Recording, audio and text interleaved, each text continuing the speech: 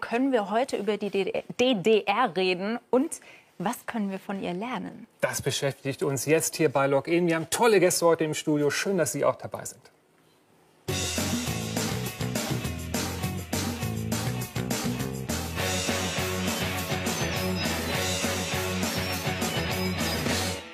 Nicht alles war schlecht, wird die DDR verklärt. Das ist unser Thema heute bei Login und damit einen schönen guten Abend live aus Berlin.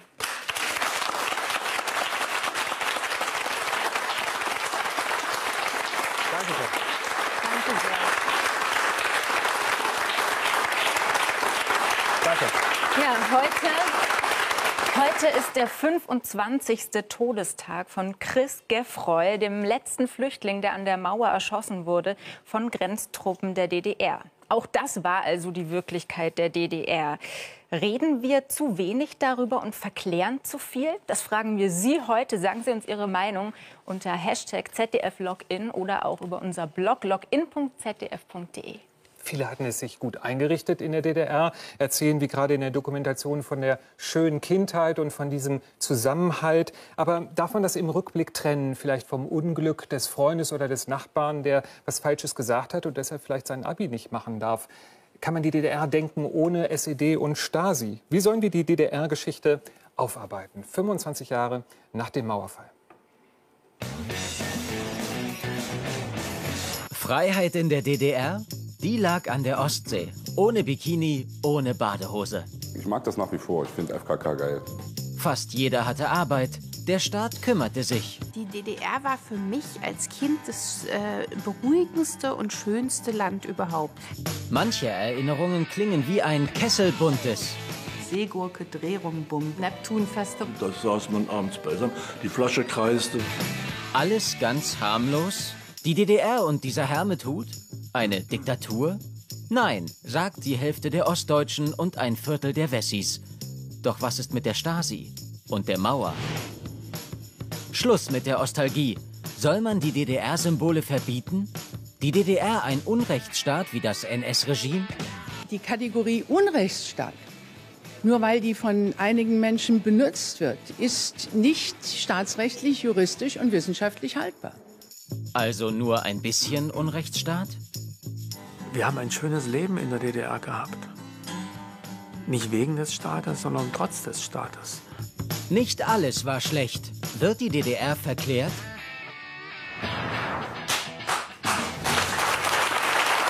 Andreas das heute Abend haben Sie gerade schon in der Dokumentation kennengelernt. Als Spitzensportlerin wurde sie in der DDR gefeiert. Doch dann ist sie geflohen. Nach der Wende setzt sie sich für die Aufarbeitung des Zwangsdopingsystems in der DDR ein. Sie meint, die DDR ist ein Unrechtsstaat und keine Bonbonfabrik. Herzlich willkommen, Ines Geipel.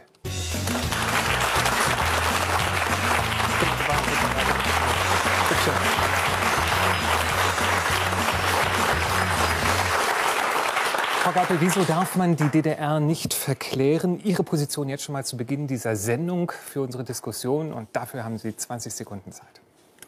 Ich möchte in einer Gesellschaft leben, wo es selbstverständlich ist, dass Menschen, die gelitten haben, die Opfer wurden in der DDR-Diktatur, an die Hand genommen werden, dass sie ihre Geschichten erzählen können. Wozu Verklärung? Verklärung heißt für mich wegmoderieren, nicht wahrhaben wollen. Äh, Und ich glaube, wir sind nicht auf gutem Weg. Es gibt eine Schieflage in der Aufarbeitung, wenn es um die DDR geht. Sagt Ines Geipel.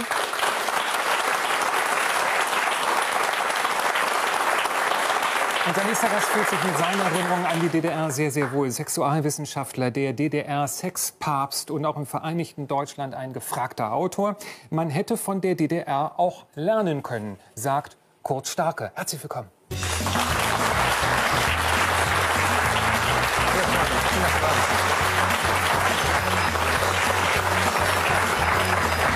Und auch Ihre Position wollen wir zu Beginn unseres Wettstreits der Meinungen erfahren. Darf man die DDR verklären? Auch Sie haben dafür 20 Sekunden.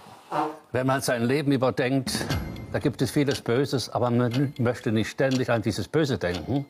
Man denkt lieber an das Gute, an das Fröhliche. Das ist wichtig für das Jetzt, auch im Zusammenleben mit seinen Mitmenschen. Und das sind die Positionen heute Abend bei uns im Studio.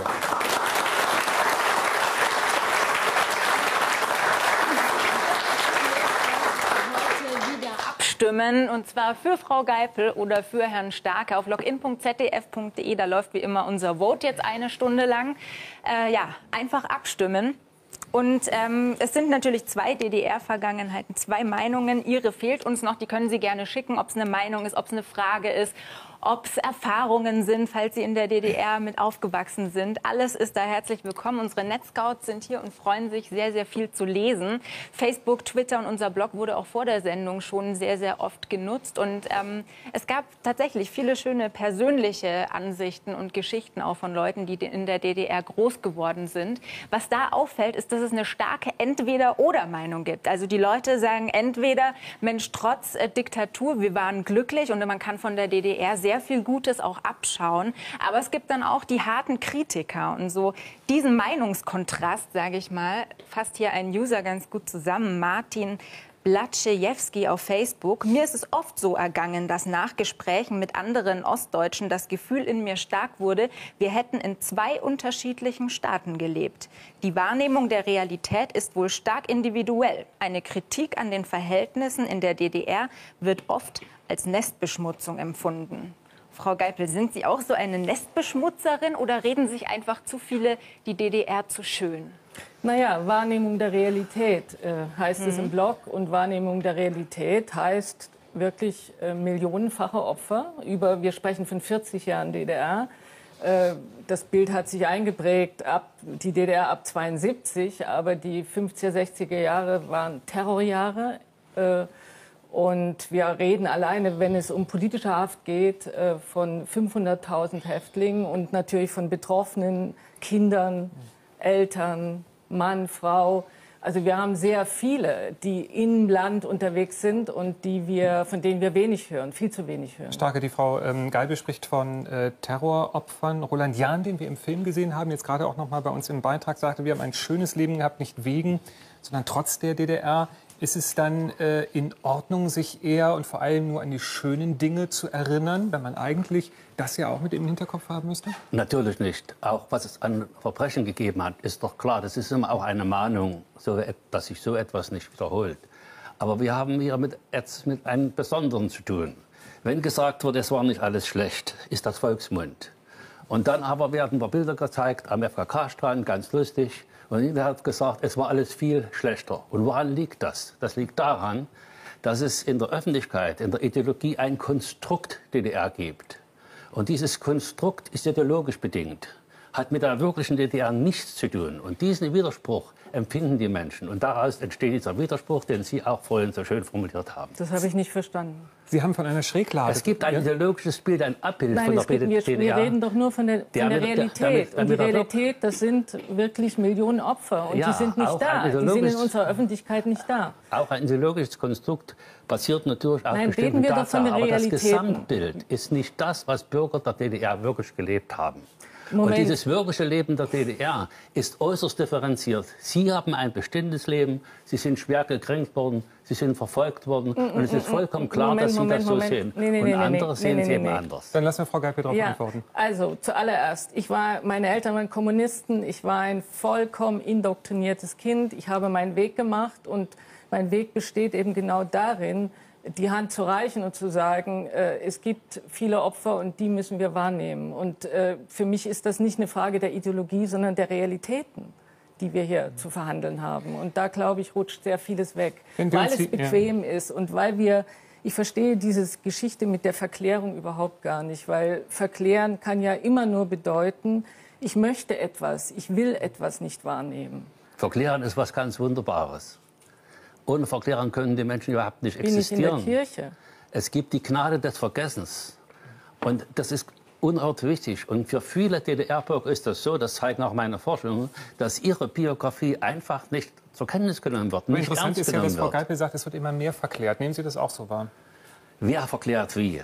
Eine Verklärung, die eher diese kindischen Widersprüche nur zeigt. Also hier das Böse und das ganz Böse und da so etwas Albernes, das ist natürlich nicht die wirkliche äh, DDR. Was man braucht, ist, dass das normale Leben der DDR in seinen positiven und negativen Seiten einfach ganz sachlich und auch ein bisschen fröhlich betrachtet wird. Ich glaube, jeder DDR-Bürger weiß, er hat sein Bier getrunken, er hat geliebt, er hat am Strand äh, ist nackt rumgelaufen und so. Das wird doch niemandem weggenommen. Das ist doch einfach blanke Ideologie dass man sozusagen den Ostdeutschen heute die Lebensgeschichte wegnimmt. Das ist doch Quatsch. Wer fühlt sich denn da angegriffen? Ich würde sagen, wir geben mal in den Chat und äh, schauen da in die Diskussion. Ja, wir haben hier wieder positive und negative Sichtweisen auf ein Stichwort. Es wird nämlich immer positiv gesprochen hier im Netz von den meisten Usern über diesen starken Zusammenhalt, den es in der DDR gab. Marco Freier sagt dazu hier auf Facebook, die DDR hat nicht nur schlechte Seiten gehabt. Das Zwischenmenschliche und der Zusammenhalt war kein Vergleich zu dieser Ellbogengesellschaft, in der wir jetzt leben. Es gab einen sozialen Frieden zwischen den Menschen. Dazu haben wir auch wieder eine genau gegenteilige Meinung, nämlich von Thomas Deckert, der sagt, Moment mal, das war doch oberflächlich. Man konnte ja niemandem trauen. Viele tausend Menschen wurden von ihren Freunden und Verwandten ausspioniert und denunziert. Und viele tausend landeten in den Stasi-Kerkern und wurden gefoltert. Und jetzt gibt es wieder Leute, die das im Rückblick ganz toll finden, weil ihnen heute irgendwas nicht passt. Das, liebe DDR-Nostalgiker, ist zum Kotzen. Also dieser Zusammenhalt, Herr Starke, Sie ja. wollen gleich schon was also sagen. Also der Zusammenhalt ist natürlich auch eine Art Notwehr. Die Menschen mussten auch zusammenhalten, weil die Verhältnisse ja nicht so günstig waren. Und das zeigt sich auch ganz spezifisch in meinem Fachgebiet, im Geschlechterverhältnis, dass eben diese Gräben, die manchmal auftauchen zwischen den Geschlechtern, so in der DDR nicht vorhanden gewesen sind. Und dieser Zusammenhalt lässt sich aber auch empirisch nachweisen, was auch damit zusammenhängt, dass bestimmte Formen der Konkurrenz in der DDR nicht gab.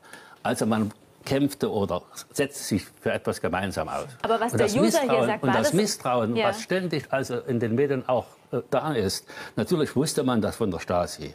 Aber das bedeutet nicht, dass die Menschen voreinander ständig Angst hatten. Ja, aber war Wir das nicht dieses Zusammengehörigkeitsgefühl eine Illusion, wie Thomas Deckert hier sagt? Ne? Gewiesen, dass DDR-Bürger weniger Angst sozialisiert werden als Jugendliche heute. Das ist empirisch nachweisbar. Und das hängt unter anderem damit zusammen, dass sie sich vertraut haben. Dieses Vertrauen ist missbraucht worden auch. Aber es hat das, dieses Vertrauen gegeben. Ist das eine Illusion, dieses, äh, die Illusion des Zusammenhalts, so wie äh, Herr Starke das gerade auch entwickelt hat, wo es eigentlich der, herkam? Der stärkste Zusammenhalt in der DDR war die Angst.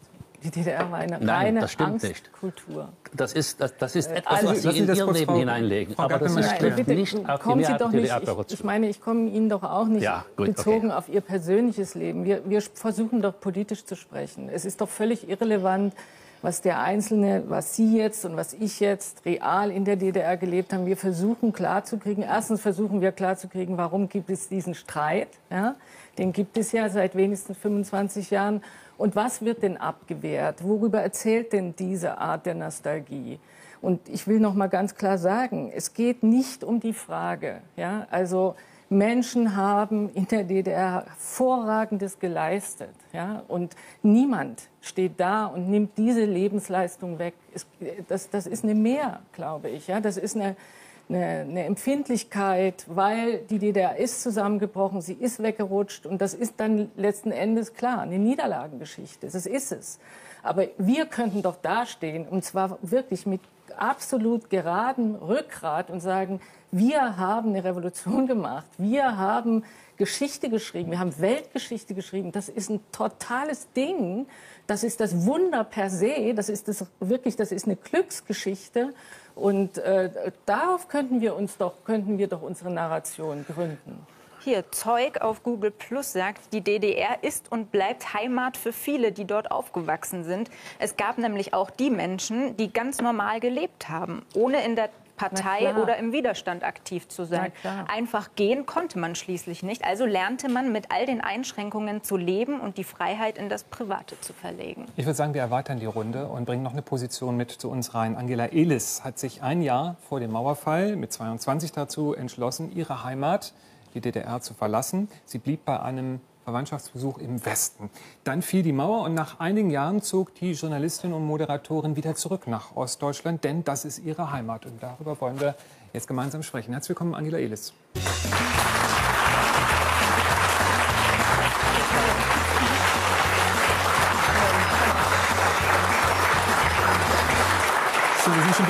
Diskussion darüber, ob man die DDR verklären darf. Ähm, Sie haben immer wieder das Unrecht angesprochen, das in der DDR war und kämpfen trotzdem für einen selbstbewussten Umgang. Auch das haben wir gerade von Frau Geipel gehört mit der DDR-Vergangenheit.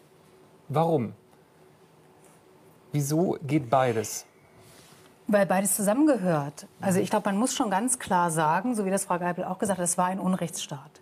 Und es gab eine große Willkür und diese Willkür hat Angst gemacht. Und es gab die Stasi und es gab die Toten an der Mauer. Und das kann man nicht wegdiskutieren. Und trotzdem gab es, was wir auch schon gehört haben, Lebensmöglichkeiten. Es gab Familie, es gab Freunde, es gab Liebe, es gab Feste, es gab Tod und alles das, was zum Leben dazugehört. Und es gibt ja diesen schönen Spruch, es gibt kein äh, richtiges Leben im Falschen.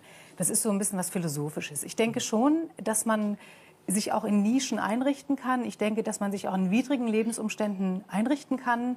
Das ist ja auch eine Stärke. Das ist interessant. Das hat der User ja auch gerade angesprochen, genau das, was Sie sagen. Aber Sie haben sich ja entschlossen zu gehen an einem bestimmten Punkt. Konnte man sich wirklich einrichten? Wie ging es Ihnen denn persönlich?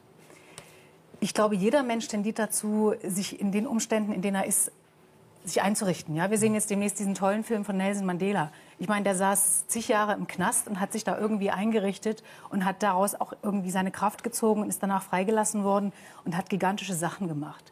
Das heißt aber einrichten, das heißt nicht, dass man das billig nimmt oder dass man ähm, nicht andere Visionen, nicht andere Ideen hätte. Und warum ich weggegangen bin, das hatte natürlich was damit zu tun, dass die DDR eine Mauer um sich herum hatte, dass ich nicht reisen konnte, wie ich wollte, dass ich beruflich mich nicht entfalten konnte, wie ich wollte und dass ich die Gelegenheit, die es dann gab, genutzt habe. Da war ich jung und äh, äh, habe noch sehr viel Mut und Kraft gehabt und habe gedacht, so jetzt versuche ich was Neues. Wenn man zurückblickt auf dieses Land, kann man dann äh, bei allem Glück auch und allen Einschränkungen sagen, so wie es der Dokutitel äh, hier auch ist, nicht alles war schlecht? Das ist so ein platter Satz. Natürlich kann man das sagen. Und trotzdem muss man sagen, Komma, aber. Hm. Nicht alles war schlecht, aber es gab ganz furchtbare Dinge. Das heißt aber nicht, dass man dort nicht leben konnte. Und das heißt auch nicht, ja. dass es Dinge gab, von denen man sich vielleicht wünschte, dass es sie heute noch geben würde. Oder dass es Dinge gab, äh, von denen man sagt, die hätte man vielleicht auch übernehmen können. Also es hätte nicht so eine Vereinnahmung vielleicht stattfinden sollen, sondern man hätte gucken können, was ist denn erhaltenswert gewesen von dieser DDR. Dann reden wir noch mal über dieses Komma aber, was Sie gerade angesprochen hatten und was wir in der Diskussion fast schon angesprochen haben. Ja, hier Andreas W. über Google Plus stellt eine sehr steile These auf. Lassen Sie sich mal von einem waschechten Ossi erklären, dass es für ein Unrechtsempfinden überhaupt keine Zeit gab. Die Gedanken drehten sich um alltägliche Dinge. Bei mir zum Beispiel, welche Baumaterialien organisiere ich wo, wann bekomme ich Zement. Da gehörte in erster Linie Vitamin B zum A und O. Herr Starke, hatten äh, die Leute in der DDR keine Zeit, darüber nachzudenken, was um sie herum passiert? Ja, ich finde es ganz lustig, ja? dass das so gesagt wird, weil sozusagen so ein, so ein angstsozialisierendes Monster, wie es dargestellt wird, auch von Ihnen, das ist sozusagen nicht reales Leben gegeben, gewesen. Es gab sehr viele Sorgen, allein wenn die Mutter früh zur Arbeit ging und vorher das Kind in den Kindergarten brachte, das ist wirklich ein Riesenkonflikt. Aber es gab auch Sicherheiten. Zum Beispiel die Sicherheit, dass wenn man eine Wohnung dann errungen hatte, die für sein Leben behalten konnte. Nie konnte niemand konnte ihn heraustreiben und die Miete konnte man auch bis zu seinem Lebensende bezahlen. Vor allen Dingen hatte man die Sicherheit, mal, 15 mal, Jahre auf die Wohnung zu warten. Ja, man musste lange warten. Natürlich. Zehn Jahre auf dem Trabant. So, und man musste, genau, also wenn man also studiert hatte, kriegte man einen Arbeitsplatz. Das sind Sicherheiten, die die Angst auch genommen haben. Und die haben ich will Ihnen ein ganz einfaches Beispiel Aber sagen. Wenn wir, wenn wir Jugendliche gefragt haben, was bemängeln Sie an der DDR, was hassen Sie? Und die Jugendlichen damals waren sehr kritisch gegenüber der DDR eingestellt. Und was bedeutet ihnen die DDR positiv? Da wurden auch solche Dinge wie diese Sicherheit im Alltag genannt, trotz aller Probleme.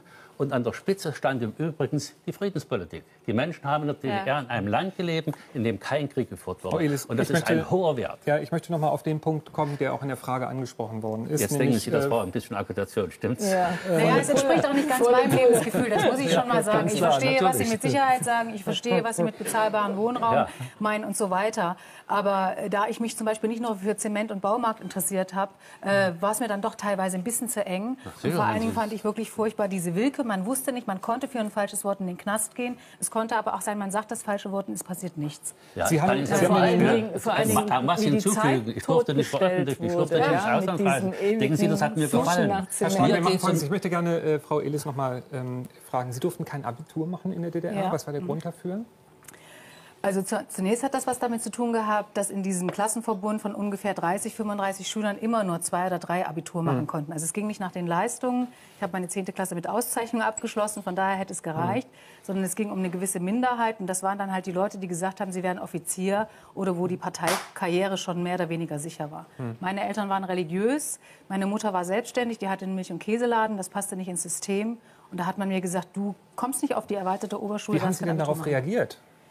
Naja, ist, das, das war natürlich für mich furchtbar. Ich wollte natürlich gerne studieren. Ich wollte damals Ärztin werden. Äh, Was sagen Sie dann, wenn jemand schreibt, wie Andreas, äh, man hatte für Unrechtsbewusstsein äh, im DDR-Leben überhaupt gar keine Zeit?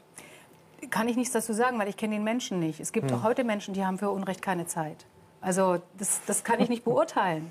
Das- Mich hat es schon ja. beschäftigt, auch damals. Diese, dieser Ungerechtigkeitsbegriff war ja in der Frage vom Andreas drin. Und ich glaube, den haben wir gerade in der Diskussion ein bisschen ähm, aus dem Blick fallen lassen. Wenn wir immer nur an das Verklärende denken, Herr Starke, ähm, wann werden wir dann die DDR in 25 Jahren als eine Art drolliges Kuriosum wahrnehmen, weil das Unrecht immer mehr ausgeblendet wird? Nein, ich möchte mal damit aufräumen. Ich denke nicht immer an das Verklärende. Ich sage nur, dass das eine wichtige Funktion Hm. im Leben eines Menschen hat. Und diese elende Vereinseitigung, das ist das, mir auf dem Ke- Keks bin. Ich bin Forscher, ich bin Wissenschaftler. Ich strebe danach, dass differenzierte Dinge betrachtet werden. Und ich denke, dass man einfach normal mit dieser DDR-Vergangenheit umgehen muss. Dass man das, was gut war, eben zur Kenntnis nimmt. Und dass Menschen da gelebt haben. Und die waren fröhlich, so wie sie das ja auch gestanden haben. Und dass das mehr in den Vordergrund treten sollte, als immer wieder dieselben Sachen, die natürlich da waren. Aber davon kann man heute nicht allein nach vorn denken. Ja, wenn wir darüber reden, darf man die DDR verklären, dann dürfen wir auch eine aktuelle Diskussion nicht vergessen, die immer wieder angestoßen wird. Ähm, zum Beispiel von Hubertus Knabe, dem Direktor der Stasi-Opfergedenkstätte in Hohenschönhausen. Da geht es um die DDR-Symbole, die man auch immer wieder findet, auf DDR-Souvenirs, die verkauft werden am Checkpoint Charlie zum Beispiel hier in Berlin. Und Hubertus Knabe sagt dazu ganz hart, das sollte man eigentlich verbieten. Dazu haben wir hier auch einige User-Meinungen, zum Beispiel von Jörg Ilchmann, ob die Symbole der DDR so wie die Symbole des Dritten Reiches behandelt werden sollen, also verboten werden, finde ich nicht. Also, dass sie verboten werden sollen, findet er nicht. Viel, eh- viele ehemalige Bürger der DDR haben durchaus positive Erinnerungen an ihren Staat. Und bei allem Verständnis für die Opfer der Staatssicherheit sollte man diese trotzdem nicht verbieten. Gibt aber auch andere Meinungen, wie zum Beispiel von Matsche. Alle politischen DDR-Symbole müssen verboten werden. Es tut weh, welche Erinnerungen damit hervorgeholt werden. Und diese Meinung gehen wir mal bei uns ins Studio. Publikum möchte ich Sie gerne mal fragen. Wie heißen Sie? Sie haben gerade die Meinung gehört, die- auch Ihre Meinung, Symbole eher verbieten. Haben wir Zirkel Ehrenkranz oder wie sehen Sie das? Ich finde also, wir sind hier auf Klassenfahrt und als wir durch das ehemalige Ostdeutschland gefahren sind, sieht man die Symbole überall. Also ich finde, ist das nicht eine Art Kultsymbol und sollte man das dann verbieten, wenn die Leute noch Erinnerungen daran haben, positive Erinnerungen Hat Sie es gestört, als Sie es gesehen haben? Nein. Okay. Frau Illes, was denken Sie, ähm, wenn Sie nicht nur diese Symbole sehen, sondern wenn Sie sehen, im vergangenen Mai haben altvordere Veteranen des Stasi-Wachregiments hier in Berlin, Felix Dzerzhinsky, in Vollmontur äh, in ihrer Uniform am sowjetischen Ehrenmal einen Aufmarsch hingelegt. Jetzt haben Sie gerade gehört, ähm, der User sagt, Mensch, das tut einem weh. Können Sie das verstehen, dass das Also diesen, tut? diesen Aufmarsch finde ich total schlimm. Hm. Äh, Das ist für mich aber was anderes als eine DDR-Fahne oder ein Ampelmännchen oder was weiß ich, das Atta-Symbol oder der Trabant. Ähm, da würde ich schon noch einen Unterschied machen. Würden Sie diesen Unterschied machen, Frau Geipel? Ja, also natürlich wäre es immer besser, man bräuchte die Verbote nicht. Ja? Also wir hätten genügend Aufklärung auch in den Schulen und die Dinge wären klar. Äh, wenn man natürlich aber Hubertus Knabe kennt und weiß, wo er ist und der sich jeden Tag die Geschichten der Opfer anhören muss, äh, muss ich sagen, gewisses Verständnis habe ich auch dafür. Ich glaube, das ist überhaupt ein wichtiger Punkt, dass eben die Opfer des Systems, von denen Sie ja vorhin schon gesprochen haben, viel zu wenig Beachtung gefunden haben. Und dass diese ganzen Rehabilitationsmaßnahmen, die da mal auf den Weg gebracht wurden, im Wesentlichen eigentlich nichts gebracht haben. Also die Opfer wurden eigentlich wieder zu Opfern, weil sie dann plötzlich erklären sollten ähm, oder beweisen sollten, dass sie da im Gefängnis wirklich gefoltert worden sind, dass sie psychisch drangsaliert worden sind. Und die Ärzte, die sie damals mit Psychopharmaka behandelt haben, die sollten dann bestätigen, ob das der Fall war oder nicht. Das ist, glaube ich, die, das eigentliche Problem. Es geht nicht so sehr ums Verklären oder nicht verklären, sondern ich glaube, es geht eher darum, dass die eigentlichen Geschichten noch gar nicht wirklich das Interesse gefunden haben und dass die wirklichen Opfer des Systems nicht rehabilitiert worden sind im Wesentlichen. Wenn Sie sich die Diskussion gemeinsam anschauen um das Verbot der, der äh, Symbole, ist es so, dass ähm, die Opfer in dieser Diskussion eher außen stehen und nicht in der Mitte der Diskussion stehen? Wie ist Ihre Wahrnehmung? Na, sie sind vor allen Dingen über die Jahre hin verstummt. Also ich habe jetzt Studien gelesen, Schüler wollten äh, in Thüringen äh, mit Opfern sprechen, die in Gefängnissen gesessen haben und die Opfer sagen, es macht doch gar keinen Sinn mehr zu sprechen öffentlich. Und Warum das macht das keinen Sinn mehr? Warum ja, weil sie das? nicht gehört werden, weil sie außen vor stehen, weil, äh, ja, weil sie vielleicht auch sehen, dass die Täter von einst Absolut. inzwischen wieder gut Absolut. etabliert sind, äh, super wohlhabend oder gut verdienen und die Opfer sind meistens psychisch gebrochen, haben nicht wieder den Tritt ins Leben gefunden und sind irgendwo in ziemlich armseligen Lebensbedingungen. Herr Starke, was macht das mit unserer Erinnerungskultur, wenn wir darüber nachdenken, wie kann man über die DDR-Vergangenheit reden, wenn Opfer offenbar nicht mehr sich trauen, ähm, das Wort zu erheben und mitzureden in dieser also, Diskussion oder sagen, ich, wir interessieren nein, ja sowieso nicht. Ich habe diese Empfindung nicht. Hm. Ich lese viel über Opfer und sie haben natürlich ganz meine Solidarität, da gibt es überhaupt gar keine Frage. Und alles, was getan werden muss, um da auch Psychisches abzuwenden und eben diese Menschen dann auch wieder fröhlich zu machen und zu integrieren, in die Hand zu reichen, ist doch ganz selbstverständlich.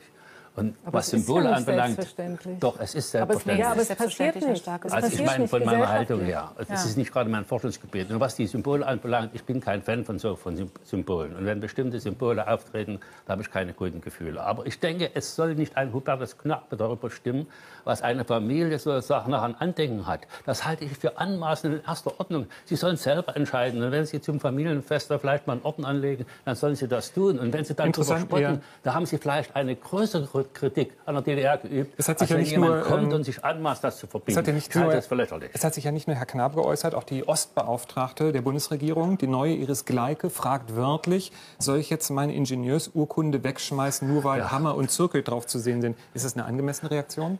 Nein, also also äh, Zirkel und Ehrenkreuz und so weiter, das sind erstmal unschuldige Symbole und nicht gar nicht so schlecht. Sind das für Sie, Sie unschuldige Sie Symbole, Frau Geipel? Ach naja, das Problem für in dem Gespräch ist, dass es mir, also wir verhandeln ja Ideologien. Ja, ich hatte die Hoffnung, dass wir äh, uns zu den Realitäten der DDR verhalten. Dann würde ich sagen, gehen wir mal auf ein paar Realitäten drauf und machen einen Realitätencheck. Gut gedacht, schlecht gemacht, hieß es in der Dokumentation, die Sie gerade gesehen haben und im Anschluss an diese Sendung auch noch sehen werden, hoffentlich. Vor allem in der Familienpolitik scheint die DDR damals moderner gewesen zu sein als Deutschland heute 2014. Das Erste, was Gesamtdeutschland übernahm, war allerdings, was auch bei den Wessis für noch mehr freie Fahrt sorgte. Die Autos? Naja, aber die Ostampelmännchen. Mittlerweile blinken sie auch in Nordrhein-Westfalen. Laut einer Studie strahlen Ossis deutlicher als Wessis. Und auch der grüne Pfeil hat rübergemacht. Wessis, seht die Signale. War nicht alles schlecht im Frauenversteherstaat? Die DDR-Frauen, also was Emanzipation, was Arbeiten, was Führungsrollen betrifft, aber mindestens zehn Jahre weiter als der Rest der Welt. 81 Prozent der DDR-Frauen arbeiteten. Heute liegt die Frauenerwerbsquote bei nur 68 Prozent. Arbeiten und Kinder kriegen, das wollte die DDR. Und das wollen heutige Politiker mit Kitas für alle. Ganztagskitas, Ganztagsschulen, möglichst kostenfrei. Die DDR machte auf Papa Staat. Hilfe für schwangere Studentinnen, mehr Urlaub für Mütter. Man hat versucht, Anreize zu schaffen, unterschiedlichster Art. Einer der wesentlichsten war mit Sicherheit, dass man Ehekredite vergeben hat. Paare konnten das Darlehen abkindern. Wer drei Kinder schaffte, war schuldenfrei. Ein Kredit für mehr Familie. Ohne Zinsen und du hattest sieben Jahre lang Zeit, ihn zurückzuzahlen. Klingt verlockend. Können wir von der DDR lernen? Politik nötig. Und zwar mit kritischem Blick sagt Jakob Hahn. Er wurde in eine DDR-Künstlerfamilie geboren, war gerade volljährig, als die Mauer fiel. Heute ist er Arzt im Hauptberuf und gleichzeitig ein Star der Berliner Lesebühnenszene. Jetzt ist er bei uns. Herzlich willkommen bei Login.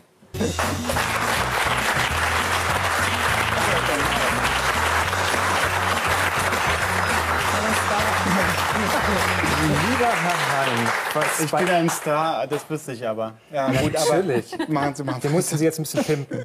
Bei allem, was Sie, Sie, gerade- Sie wollten mich rausholen. bei allem, was ich in der Matz gerade gesehen habe, gute Erinnerungen an das Land Ihrer Eltern? Mm, Es gibt gute Erinnerungen, aber viele der Dinge, über die jetzt gerade gesprochen wurde, also gerade das Bildungssystem, habe ich jetzt nicht nur gute Erinnerungen. Trauern die Leute da einer Illusion, einer Utopie hinterher? Na, ich glaube, ich glaube, also mir ist das alles zu retrograd. Ich glaube, was, was, was mich viel mehr interessiert, ist, was bedeutet das alles für heute? Das ist so äh, für mich ein Thema. Was bedeutet zum Beispiel die Gleichberechtigung der Frau in der DDR für uns heute? Und ähm, ich glaube, wenn wir immer zurückgehen, dann hat eben jeder seine Erinnerung und die verfärbt das, was da war.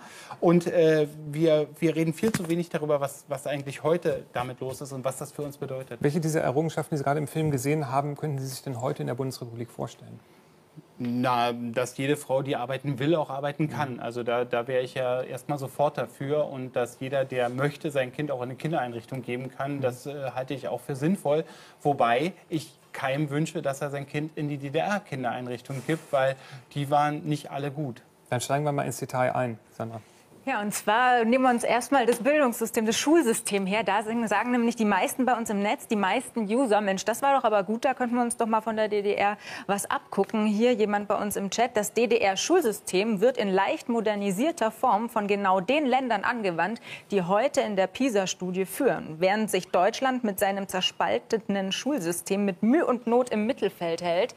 Dazu gibt es natürlich auch wieder eine andere Meinung von Kai Christian Thomsen. Die DDR hat von den Nazis gelernt und deren Bildungssystem perfektioniert. Weg von den Eltern, die Kinder dem völligen Zugriff des Staates unterstellen. Für einen demokratischen Rechtsstaat, der das Grundgesetz und dessen Artikel 6 ernst nimmt, gibt es da nichts zu lernen. Also Einheitsschulen wie in der DDR, machen die auch Einheitsmenschen oder können wir uns da was abschauen, Frau Geipel? Entschuldigung. Ja, also äh, wir sind ja durch diese Schulen gelaufen und äh, ein starkes Verzweckungsmoment hatten und natürlich auch den Charakter der Ideologie. Das war schon sehr stark und das finde ich schon ganz gut, dass wir ein föderales Schulsystem heute haben. Natürlich äh, müssen die Schüler da durch, äh, aber diese Vielheit und dieses Entideologisierte, das, da bin ich schon sehr dafür. Haben Sie es auch so erlebt? Na, Ich glaube, es ist ja auch eine Frage, welchen Freiheitsbegriff man hat. Also wir haben gerade gehört, dass eben nur, sagen wir mal, fünf bis zehn Prozent der Schüler konnten das Abitur machen, wenn sie es wollten. Und heute ist es äh, durchaus anders und äh, auch eine Vielzahl von Bildungskarrieren ist möglich und das ist äh, wunderbar. Wir brauchen eben nicht nur Ärzte, die irgendwie ideologisch richtig ticken und äh, dann auch noch ähm, die richtigen Eltern haben, sondern wir brauchen auch Ärzte, die, einen- die einen anderen Erfahrungshintergrund haben.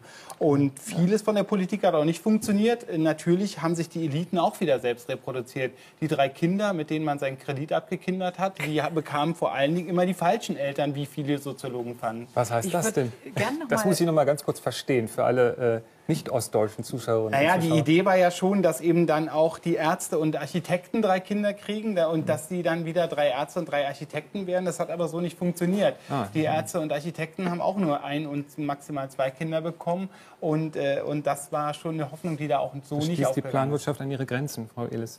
Ja, ich würde gerne schon noch mal zu dieser Schulsache sagen. Also ich bin in den Kindergarten gegangen zu DDR-Zeit und auch in die Schule und trotzdem habe ich nicht das Gefühl, dass mir ist ein Einheitsmensch geworden. Ganz im Gegenteil. Also die Erfahrungen auch jetzt in den letzten 25 Jahren zeigen eigentlich eher, dass ich sehr eigenständig geblieben bin und gar nicht so sehr angepasst. Ähm, Und wenn ich mir das Schulsystem heute angucke, um darauf zu kommen, was, was lernen wir für heute daraus, dann muss ich sagen, ich habe zwei schulpflichtige Kinder und das Schulsystem äh, ist schon sehr auf Friss oder Stirb aus und hat auch nicht so sehr viel mit Persönlichkeitsbildung und Begabung, Begabungsentfaltung zu tun, äh, obwohl es vielfältig ist, obwohl es nicht rein ideologisch ist und nicht nur missbraucht wird. Ist da zu wenig nach der Wende drauf geschaut worden? Was können wir zum Beispiel an der, an der Schule mitnehmen in, einen, in die neuen Bundesländer? das ist ja was, Ländersache. was heißt zu wenig drauf geschaut worden? Äh, politisch wird ja immer alles Mögliche deklariert und da gibt es ganz viele Sonntagsreden. Ich glaube, es wird einfach zu wenig umgesetzt. Herr Starke, wie sehen Sie es? Was sehe ich? Hätte man mehr aus dem DDR-Schulsystem mit rübernehmen sollen nach der Wende? Das ging überhaupt nicht. Es geht ja im Grunde um, um die Idee, wenn heute festgestellt wird, dass eben im Grunde genommen schon frühzeitig sozial sortiert wird und der Anteil, dass bewusst eine Bildungsunterschicht entsteht, da kann man natürlich die Erfahrungen der DDR berücksichtigen. Wie ist das gemacht worden, dass das nicht entstanden ist? Oder ich nehme ein anderes Beispiel. Sie sagten die Kinder von den Ärzten. Also wenn Sie heute ungefähr 50 bis 60-jährige Frauen in, der, in, den alten Bundesländern nehmen, die ein Hochschulstudium abgeschlossen haben, sind es über die Hälfte, die keine hm. Kinder hatten. Haben bis heute und natürlich. Und in der DDR waren das 95 Prozent, die Kinder hatten. Also während des Studiums konnten Kinder geboren werden. Das war dann ab 70er Jahren möglich. Und jetzt hat mich ein Student aus Gießen angerufen, hat gesagt, gab es da nicht so was Studenten mit Kind bei Ihnen und so? Ja, sage ich, im Verlauf des Studiums habe also 40 Prozent eigene Kinder bekommen.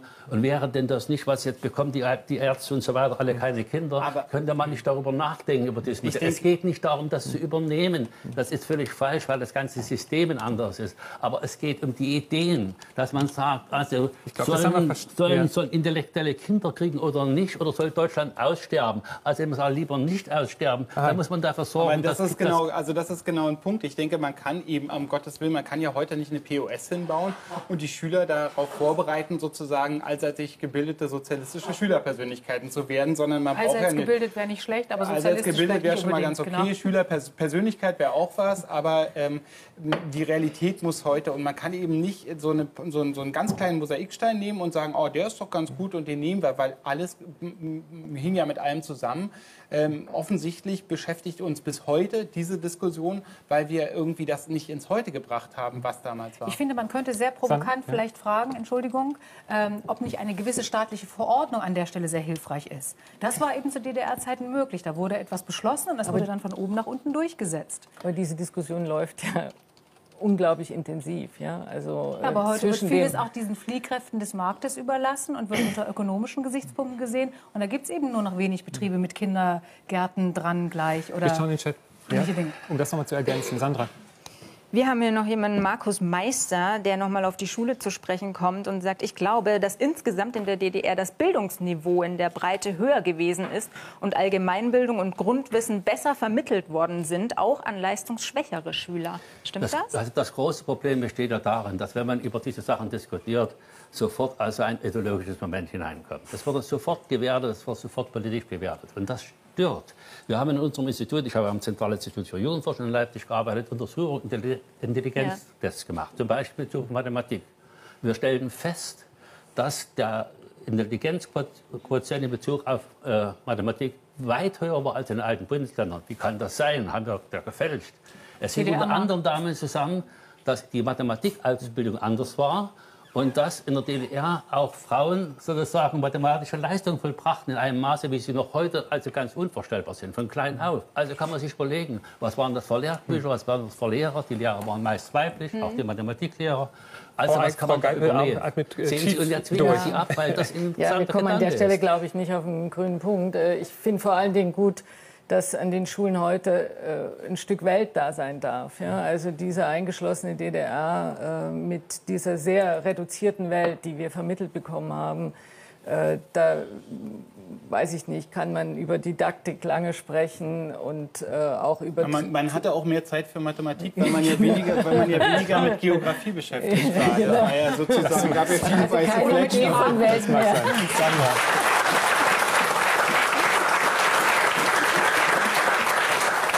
Flecken. User setzen sich auch gerade sehr kritisch mit der Frage der Kinderbetreuung auseinander in der DDR. Hier sagt zum Beispiel jemand, die Kinderbetreuung galt doch nur ähm, der ideologischen Kontrolle und wir haben hier Karl. Erwerbstätigkeit der Frau und Kinderbetreuung waren doch keine menschenfreundlichen Wohltaten.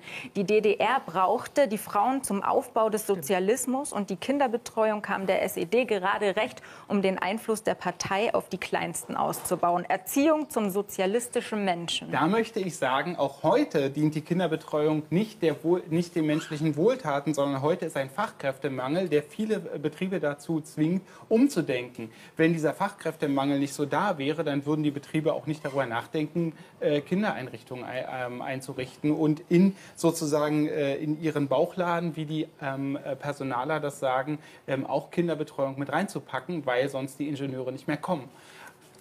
Heute schauen, glaube ich, eine Reihe von Müttern ein bisschen neidisch, wenn sie äh, hören, in der DDR gab es für 80 Prozent der Kinder einen Krippenplatz und nicht nur wie heute für 40 Prozent. Die waren von 6 bis 18 Uhr geöffnet. Sie kosteten, glaube ich, 25 Mark. Heute kosten sie das Vielfache. Und trotzdem, Frau Geipel, sprechen Sie von einer Erziehungsdiktatur. Wie meinen Sie das? Was passiert in diesen Kindergärten? Naja, also wir sprechen ja davon, dass bestimmte Modelle ins Heute transformiert werden. Und ich bin schon sehr dafür zu schauen, was ist in diesen Häusern, in diesen Gebäuden tatsächlich passiert. Also was war das für ein Menschenbild? Was, was ist mit den Kindern passiert? Und äh, wir haben ja gerade in den letzten Tagen im CDF mehreres gesehen.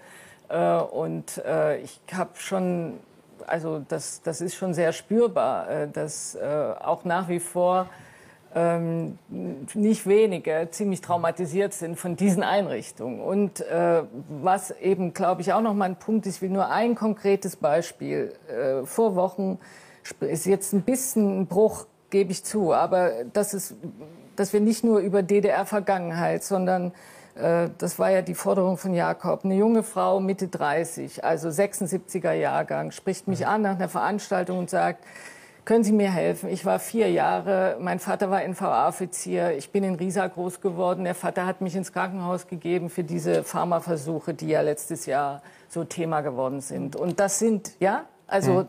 wenn wir über Menschenbild sprechen, gehören diese Geschichten schon auch mit hineinerzählt. Und, für, und, und sie sagt natürlich, können Sie mir helfen? Ich, brauch, ich will wissen, was meine Akte ist. Und, den, und so eine Frau kann man nicht sagen, na geh nach Hause und verklär mal ein bisschen. Die will, die will Tacheles, die will ihre Geschichte haben, die will wissen, wer sie ist. Und, äh, und an den Stellen, das ist das, was mich wirklich umtreibt, weil das ist ja was, was wir jeden Tag auf den Tisch bekommen. Ja? Wir, wir sind so eine Beratungsstelle, wo es um Körper geht und wo wir wirklich, ja. äh, das sind junge Menschen, die sind 35 Jahre, wo wirklich äh, einiges passieren muss. Wenn wir darüber nachdenken, wie auch diese jungen Menschen heute vielleicht fragen würden, wie sah die Kinderbetreuung, aber auch die Rolle der Frau aus? Sie haben äh, gerade angesprochen, wozu eigentlich die Kinderbetreuung da war. Natürlich, dass viele Frauen arbeiten konnten. Und wenn ich es richtig gelesen habe, 1989 arbeiteten 90 Prozent der, der Frauen in der DDR fast Vollzeit. Ähm, was würden Sie den jungen Frauen heute sagen? War das ein emanzipierteres Frauenbild zu dieser Zeit oder ähm, hatte das auch eine andere Seite? Also ich glaube schon, dass es sehr viel emanzipierter war. Und ich muss auch sagen, aus meiner Sozialisation heraus ähm, kann ich mir gar nichts anderes vorstellen, als berufstätig sein zu wollen. Ich kennen das Modell, dass die Frau zu Hause ist und die Kinder versorgt und dem Mann die Hemden rauslegt und den Schlips äh, zum Hemd passend sortiert und den Koffer packt oder sowas in der Art, kenne ich nicht so. Als ich damals nach Westdeutschland gegangen bin, Sie hatten es angesprochen, 1988, da habe ich noch sehr oft dieses Modell schon erlebt. Das hat, glaube ich, aber auch ja. nachgelassen. Kiwi hat in dem Film, äh, in der Dokumentation gesagt, äh, die Frauen in der DDR waren dem Rest der Welt äh, zehn Jahre voraus. Ja, ich glaube schon. Nein, Glauben Sie auch? Moment, Moment. Ja? Also die Frauen waren nicht nur berufstätig, sie waren höher gebildet teilweise als der Mann. In den 50er Jahren kam dieser Zustrom von Frauen an die Hochschulen. An den Hochschulen waren dann so 54 Prozent immer Frauen, an den Fachschulen bis 90 Prozent. Und das wirkte sich natürlich auf das ja. Innere in den Familien aus, und zwar auch mhm. im Sinne einer inneren Demokratisierung. Und diese innere Demokratisierung in den Familien, die trat natürlich im Widerspruch zu dem gesellschaftlichen System. Das 89 wäre nie so verlaufen ohne diese Emanzipation der Frauen. Interessante Hier jemand These. bei uns im Chat erstmal. Ganz kurz mal, äh, Frau Geipel darauf nochmal. Ja.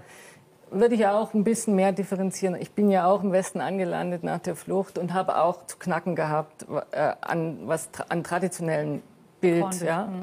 äh, Frauenbild mhm. einem begegnet ist. Und ich glaube, da ist in den letzten 25 Jahren einiges passiert, Emanzipation ist in meinen Augen noch mal was anderes. Also diese Geschichte einfach immer nur zu leisten, ja, zu arbeiten, zu arbeiten, Familie, Beruf und immer, also diese Frage des Recht auf einen individuellen, einen eigenen Raum. Warum ist es so gewesen, dass die ostdeutschen Frauen nach 89 sich massenhaft ja, an Manager, an Leute, also an Männer im Westen orientiert haben und sie geheiratet haben? Ist weil, das so? Ja, ja, die Zahlen, doch, die Zahlen sind da ziemlich eindeutig. Und äh, da hatte ich den Eindruck, so stabil war diese Emanzipation der Frau im Osten nicht, äh, wie wir sie uns gern im danach erzählen wollen. Es gibt aber viele Stimmen im Netz, auch dieses dann wiederum anders sehen. Dazu noch ein kurzes Feedback hier ähm, von jemandem bei uns im Chat. Bis 1. Juli 1958 brauchten westdeutsche Frauen die Erlaubnis ihres Mannes, um arbeiten zu können. 76. Solche Sachen, mhm. ja? Bis 1976, dann wurde das erst geändert im Gesetz. Mhm. Solche Sachen waren in der DDR undenkbar. In vielen Alltagsdingen war die DDR liberaler als die Bundesrepublik. Aber Republik falsch geschrieben, da äh, stellt man sich dann auch nochmal die Frage. Aber wir wollen hoffen, dass es der naja, Geschwindigkeit den Loser mal in. Schutz nehmen. Das hoffen- ist ja. ein Tippfehler, das passiert schnell. Im Büro- äh, Politbüro äh, war nie eine Frau. Warten Sie mal ganz Ja. klein, ich muss noch was sagen.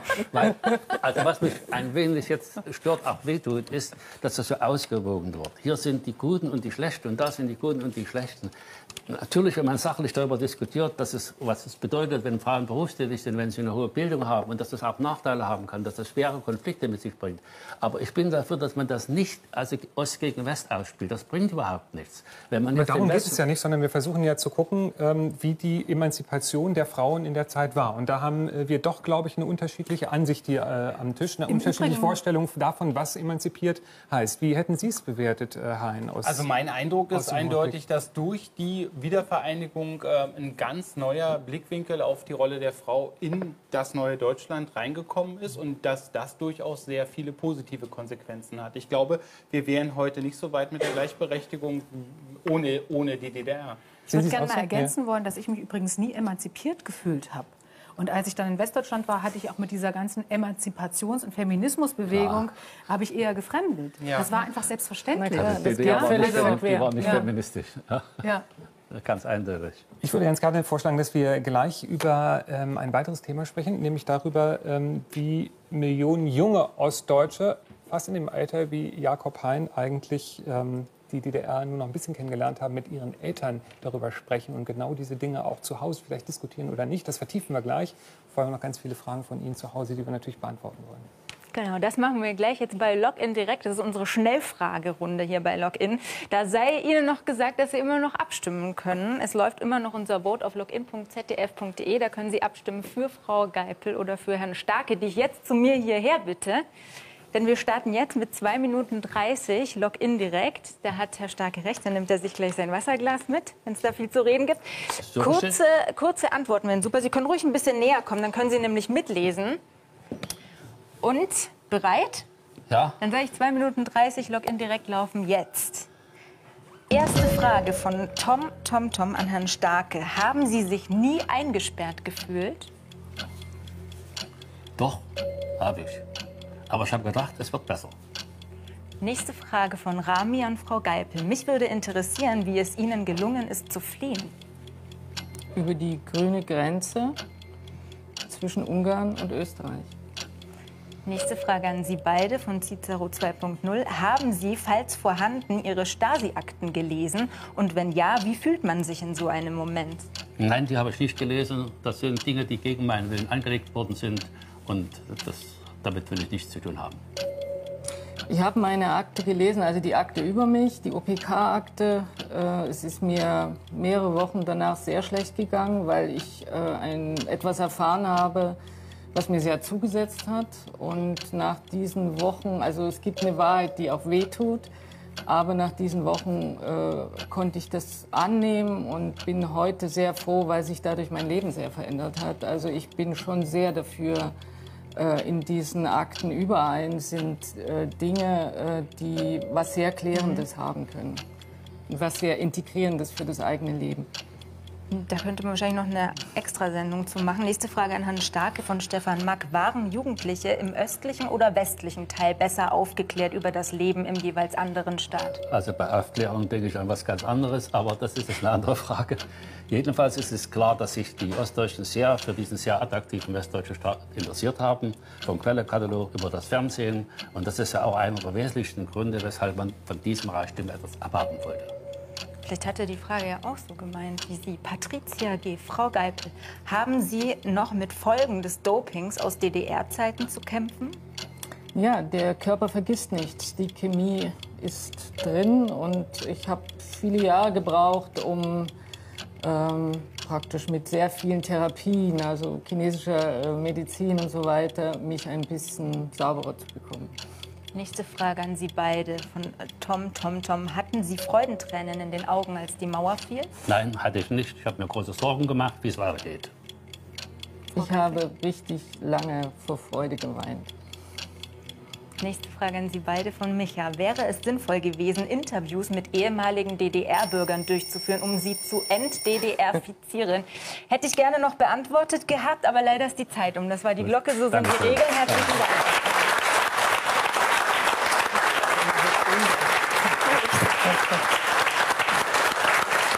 Reaktion auf, äh, die Reaktion auf die Dokumentation im ZDF äh, und Umfragen zeigen, ähm, Ost und West sind sich nicht unbedingt einig darüber, wie die Ostdeutschen in der DDR eigentlich lebten. Schon seltsam, wie sich auch 2014 einige Wessis die DDR und seine Bewohner vorstellen. Ossi. Ossi. Zoni. Ossi. Fahnenappell. Ferienlager. Jugendweihe. Menschen aus den neuen Bundesländern sind eine eigene Ethnie. Sie haben ihre spezifische Geschichte, sie haben spezifische kulturelle Standards, Verhaltensweisen auch im Alltag, die man so im Westen nicht findet. Ossi, für eine Westfirma sogar mal ein Ablehnungsgrund. Die hatten doch nichts in der Besatzungszone. 40 Jahre enteignetes Leben. Keine Selbstbestimmung, keine Freiheit. Ist doch klar, dass Ossis ein eigenes Volk sind. Viel sensibler als die Dampfwalzen aus dem Westen. Immer diese Besserwessis. Den Ossis reicht's. Wenn da jetzt nach, nach 20 Jahren wieder jemand kommt, der das meint, wieder besser zu wissen, wie wir mit unserer Vergangenheit umgehen sollen, dann reißt er die alten Wunden wieder auf. Doch nun stochern die eigenen Kinder in der DDR-Vergangenheit. Die jungen Ossis wollen reden. Aber nicht über Schrebergarten und Zusammenhalt, sondern darüber, wie es wirklich war. Schweigen oder schwelgen? Braucht die DDR-Vergangenheit eine neue Aufarbeitung?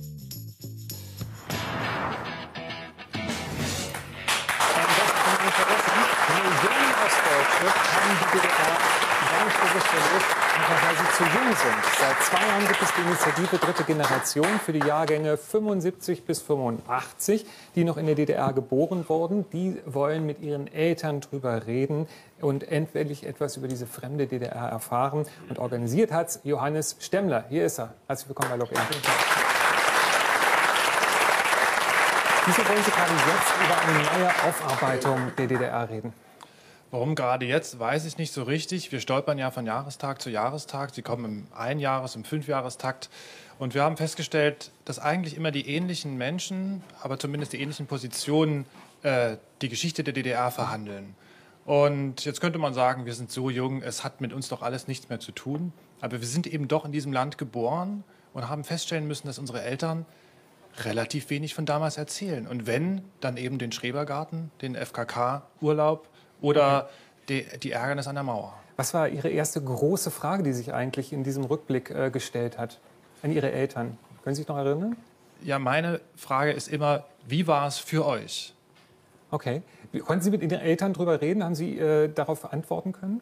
Bei uns zu Hause ist es relativ unproblematisch, weil meine Eltern eine Distanz zum System hatten. Und je größer die war, umso einfacher ist es immer. Aber viele der Menschen, die ich kenne, für die ist es sehr schwer, weil die Eltern dann glauben, jetzt kommt die Inquisition des eigenen, so. durch das eigene Kind. Wie wird das dann gelöst? Äh, ganz lange die dicken Bretter bohren, nicht weggehen und sich wirklich dafür interessieren, was die eigene Geschichte ist und nicht die Schablone der Geschichte, die wir ohnehin alle kennen. Sind das schmerzhafte Geschichten? Also da muss man äh, zu erklären, Sie treffen sich auf Tagungen mit vielen, vielen anderen, reden über diese Themen auch. Das, was Sie dann von denjenigen hören, bei denen es vielleicht nicht so rund läuft. Ähm, sind das schmerzhafte Geschichten? Je politischer ein Leben damals war ja. oder das der Eltern, umso schmerzhafter kann es sein. Aber Schmerz hat ja auch immer was Befreiendes. Mhm. Wenn man einmal im Gespräch ist, wenn man die Eltern oder auch die Großeltern an der Angel hat, mhm. Dann ist das für die eine Befreiung, endlich auch mal die äh, Mistgeschichten von damals erzählen zu können. Die eine Sache ist es, mit den Eltern darüber zu reden. Was mir in der Vorbereitung der Sendung aufgefallen ist, die Hälfte der 14- bis 24-Jährigen in Ost- und in Westdeutschland sagen, dass sie eher wenig über die Lebensverhältnisse in der DDR wissen. Ähm, was haben Sie eigentlich in der Schule darüber gelernt? Ist da gar nicht drüber gesprochen worden? Tja, gar nicht so viel. Auf der einen Seite war die DDR sehr präsent, weil wir als Kinder aus dieser Zeit kamen und die Lehrer auch. Gleichzeitig war sie abwesend, weil der Geschichtsunterricht immer 1949 äh, zu Ende war. Das Schuljahr war zu Ende. Die DDR kam nicht dran. Wir konnten das dort nicht verhandeln. Es gab noch keine Sprache dafür. Und das ist etwas, was äh, jetzt noch nachgeholt werden muss. Spannende Geschichte. Wir reden gleich noch ein bisschen weiter. Und vorher schauen wir, wie ähm, Sie das zu Hause sehen. Sandra.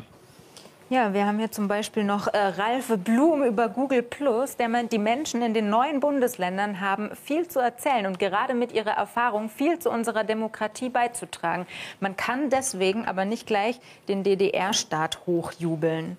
Also offen über die Vergangenheit reden, kann man dadurch unserer Demokratie helfen, Frau Geipel?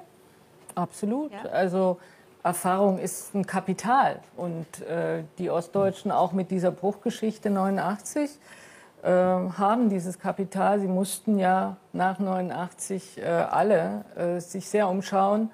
Und das auch ist ja ein Erfahrungswert. Ja? Und insofern, äh, glaube ich, kann man schon gut hinhören. Man kann viel erfahren. Und Erfahrung ist ja die Möglichkeit, äh, eine Wiederholung auch zu verhindern, nämlich in dem Moment, wo man diese Erfahrung wirklich öffentlich macht und Gesellschaft dadurch auch verändert. Ist das, Jakob Hein, eine Möglichkeit, äh, die wir jetzt auch angehen sollten, wenn wir darüber nachdenken, wie wir eine neue Aufarbeitung 25 Jahre nach Mauerfall der DDR-Geschichte auch leisten können, äh, mehr Gespräch in die Familien zu bringen, so wie es äh, Johannes Stemmler anregt? Also ich finde das eine sehr gute Idee und ich würde auch, also es gibt ja kein zentralistisches Schulsystem mehr, aber ich würde auf jeden Fall die Forderung aufstellen, dass ähm, Geschichtsunterricht nicht mehr 1949 enden darf.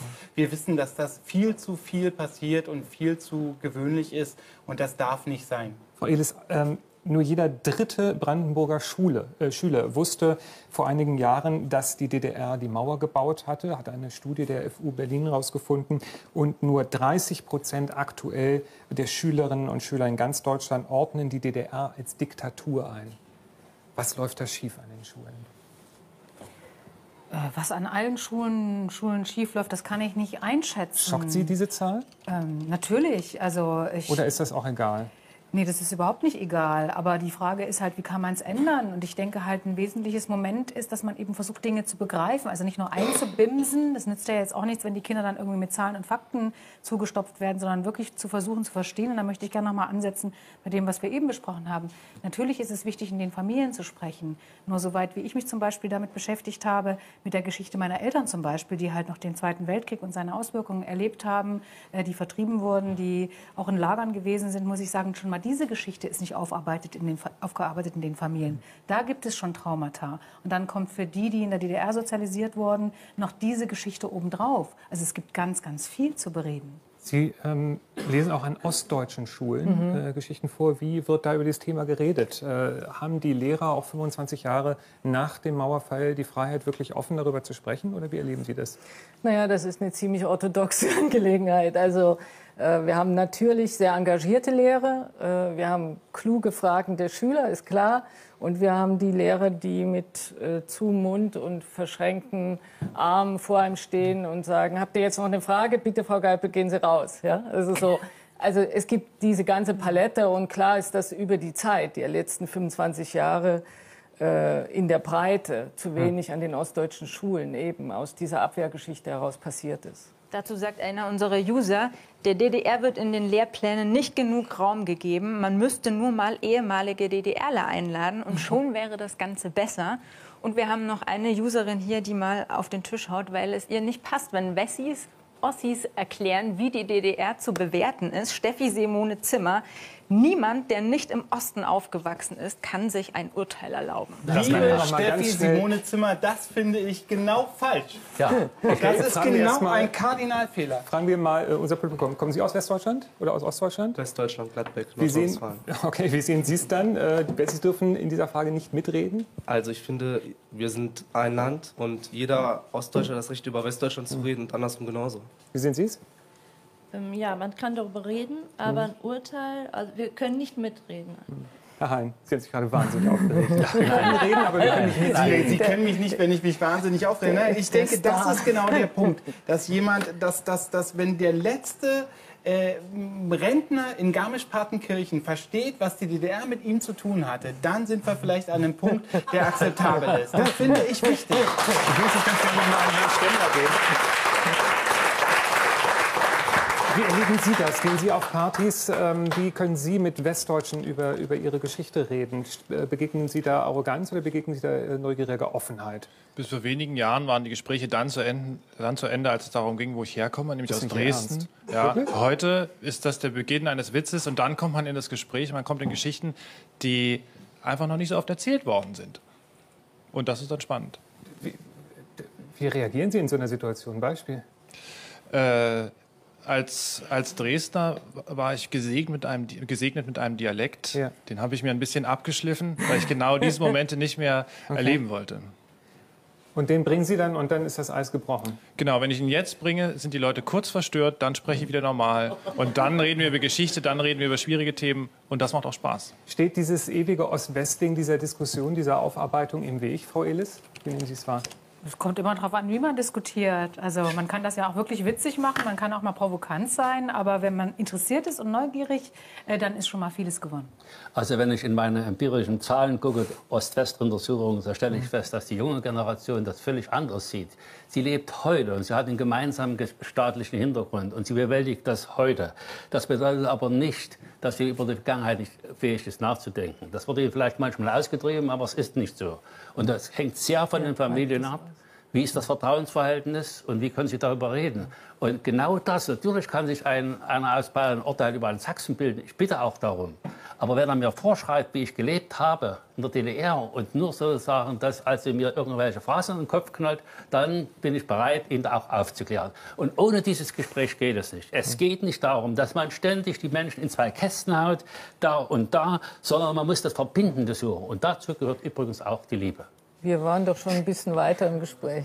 Wir haben hier ähm, unter unseren Usern einige Ansichten, die sagen, ja, Moment mal, es gibt so ein paar Sachen, die sind jetzt heute irgendwie auch nicht anders als in, die, in DDR-Zeiten. Hier ein Gast in unserem Chat. Neokolonialisierung, genehmigte CIA-Foltergefängnisse mitten in Europa und gnadenloser Raubbau an der Natur machen für mich klar, unser kapitalistisches, pseudodemokratisches System ist dem der DDR in der Summe nicht wirklich überlegen. Ronny Pasemann, was haben wir denn heute? Starrsinnige Parteibonzen oder auch etablierte Parteien genannt, die faktisch eine Einheitspartei Deutschland sind.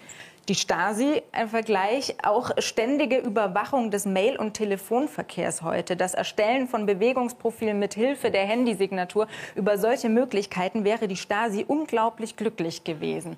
Das ist bei uns im Netz echt oft aufgetaucht, so ein Stasi-NSA-Überwachungsvergleich. Kann man den ziehen, Frau Geipel? Sie lachen so. Naja, es, man sieht ja, es gibt viel Ärger, es gibt viel Zorn ähm, und dann kann man eigentlich immer nur wieder anfangen und versuchen, das zu differenzieren. Was hat eine Staatssicherheit, was war ihr möglich, was hat sie gemacht? Und äh, was haben wir heute an Problemen, die wir gemeinsam natürlich, äh, also das kann man nicht hinnehmen, diese NSE-Geschichte, das ist klar. Aber äh, trägt dieser Frust über die Verhältnisse heute, über solche Sachen, aber auch über ähm, Arbeitslosigkeit, vor allen Dingen auch in den neuen Bundesländern, Löhne, die immer noch geringer sind als in den alten Bundesländern, trägt der zur Verklärung dann auch bei, dass man sagt, so ja, natürlich spielt es auch eine gewisse Rolle. gesagt, früher war dass, wenn also sicherer, Unterschiede, die bestehen, es gibt ja viele Unterschiede, die sind sehr liebenswert. Ja. Und es gibt soziale Unterschiede im Ost-West, die noch sehr lange bestehen werden, allein weil im Osten eben die Industrie nicht so tragend ist oder überhaupt nicht tragend ist. Und das bleibt natürlich auch. Und auch weil die Oberschicht nicht so reich ist im Osten wie die im Westen und die Armen vielleicht auch nicht weniger arm.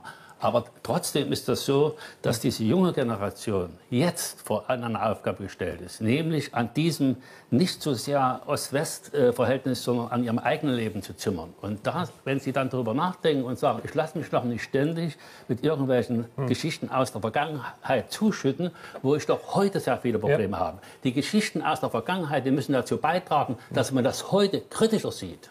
Sachwort Starke. Und damit äh, sind wir am Ende unserer Sendung und wollen unbedingt äh, wissen, wie Sie zu Hause diese Diskussion äh, gewotet haben. Ja, wir hatten unser Vote laufen diese ganze Stunde lang zur Frage, darf man die DDR verklären? Wer ist heute stärker? Ist es Frau Geipel oder ist es Herr Starke? Und hier kommt unser Ergebnis. Darf man die DDR verklären? Ja, sagt Herr Starke und nein, sagt Frau Geipel. Und ihr geht heute Abend zu 56 Prozent mit Herrn Starke. Aber das ist ein knappes Ergebnis.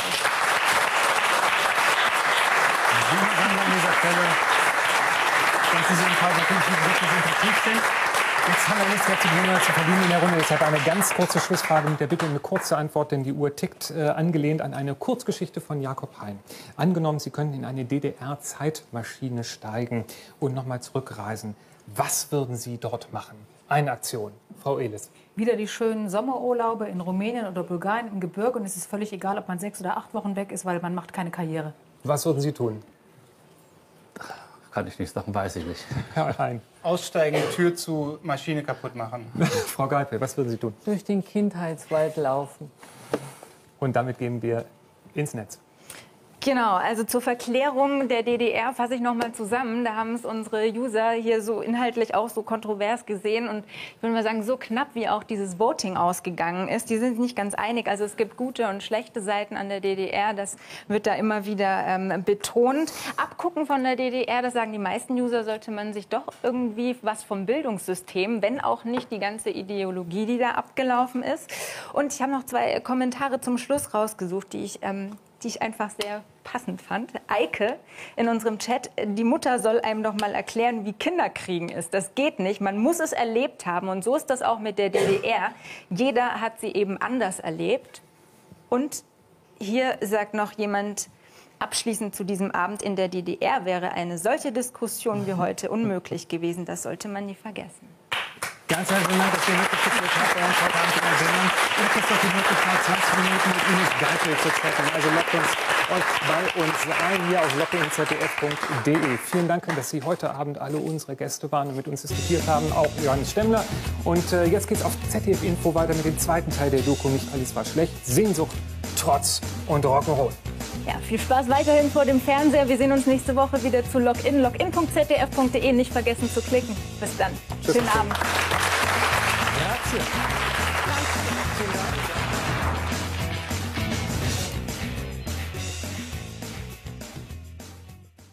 Meine Solidarität, da gibt es überhaupt gar keine Frage. Und alles, was getan werden muss, um da auch Psychisches abzuwenden und eben diese Menschen dann auch wieder fröhlich zu machen und zu integrieren, in die Hand zu reichen, ist doch ganz selbstverständlich. Und Aber was Symbole ja anbelangt, selbstverständlich. doch, es ist Aber es- selbstverständlich. ja, aber es passiert nicht. Es also ich meine von meiner Haltung her. Das Ja. ist nicht gerade mein Forschungsgebiet. Und was die Symbole anbelangt, ich bin kein Fan von so von Sym- Symbolen. Und wenn bestimmte Symbole auftreten, da habe ich keine guten Gefühle. Aber ich denke, es soll nicht ein Hubertus Knappe darüber stimmen, was eine Familie sozusagen nach an Andenken hat. Das halte ich für anmaßend in erster Ordnung. Sie sollen selber entscheiden. Und wenn Sie zum Familienfest da vielleicht mal einen Orden anlegen, dann sollen Sie das tun. Und wenn Sie dann darüber spotten, ja. da haben Sie vielleicht eine größere Kritik an der DDR geübt, Es hat sich ja nicht nur, kommt ähm, und sich anmaßt, das zu verbieten. Es hat, ja nicht nur, das es hat sich ja nicht nur Herr Knab geäußert, auch die Ostbeauftragte der Bundesregierung, die neue Iris Gleike, fragt wörtlich, soll ich jetzt meine Ingenieursurkunde wegschmeißen, nur weil Ja. Hammer und Zirkel drauf zu sehen sind? Ist das eine angemessene Reaktion? Nein, also, also äh, äh, Zirkel und Ehrenkreuz und so weiter, das sind erstmal unschuldige Symbole und nicht gar nicht so schlecht. Sind es für Sie Sie, unschuldige gibt es. Symbole, Frau Geipel? Ach, naja, das Problem für in dem Gespräch ist, dass es mir, also wir verhandeln ja Ideologien. Ja, und ich hatte die Hoffnung, dass wir äh, uns zu den Realitäten der DDR verhalten. Dann würde ich sagen, gehen wir mal auf ein paar Realitäten drauf und machen einen Realitätencheck. Gut gedacht, schlecht gemacht, hieß es in der Dokumentation, die Sie gerade gesehen haben und im Anschluss an diese Sendung auch noch sehen werden, hoffentlich. Vor allem in der Familienpolitik scheint die DDR damals moderner gewesen zu sein als Deutschland heute 2014.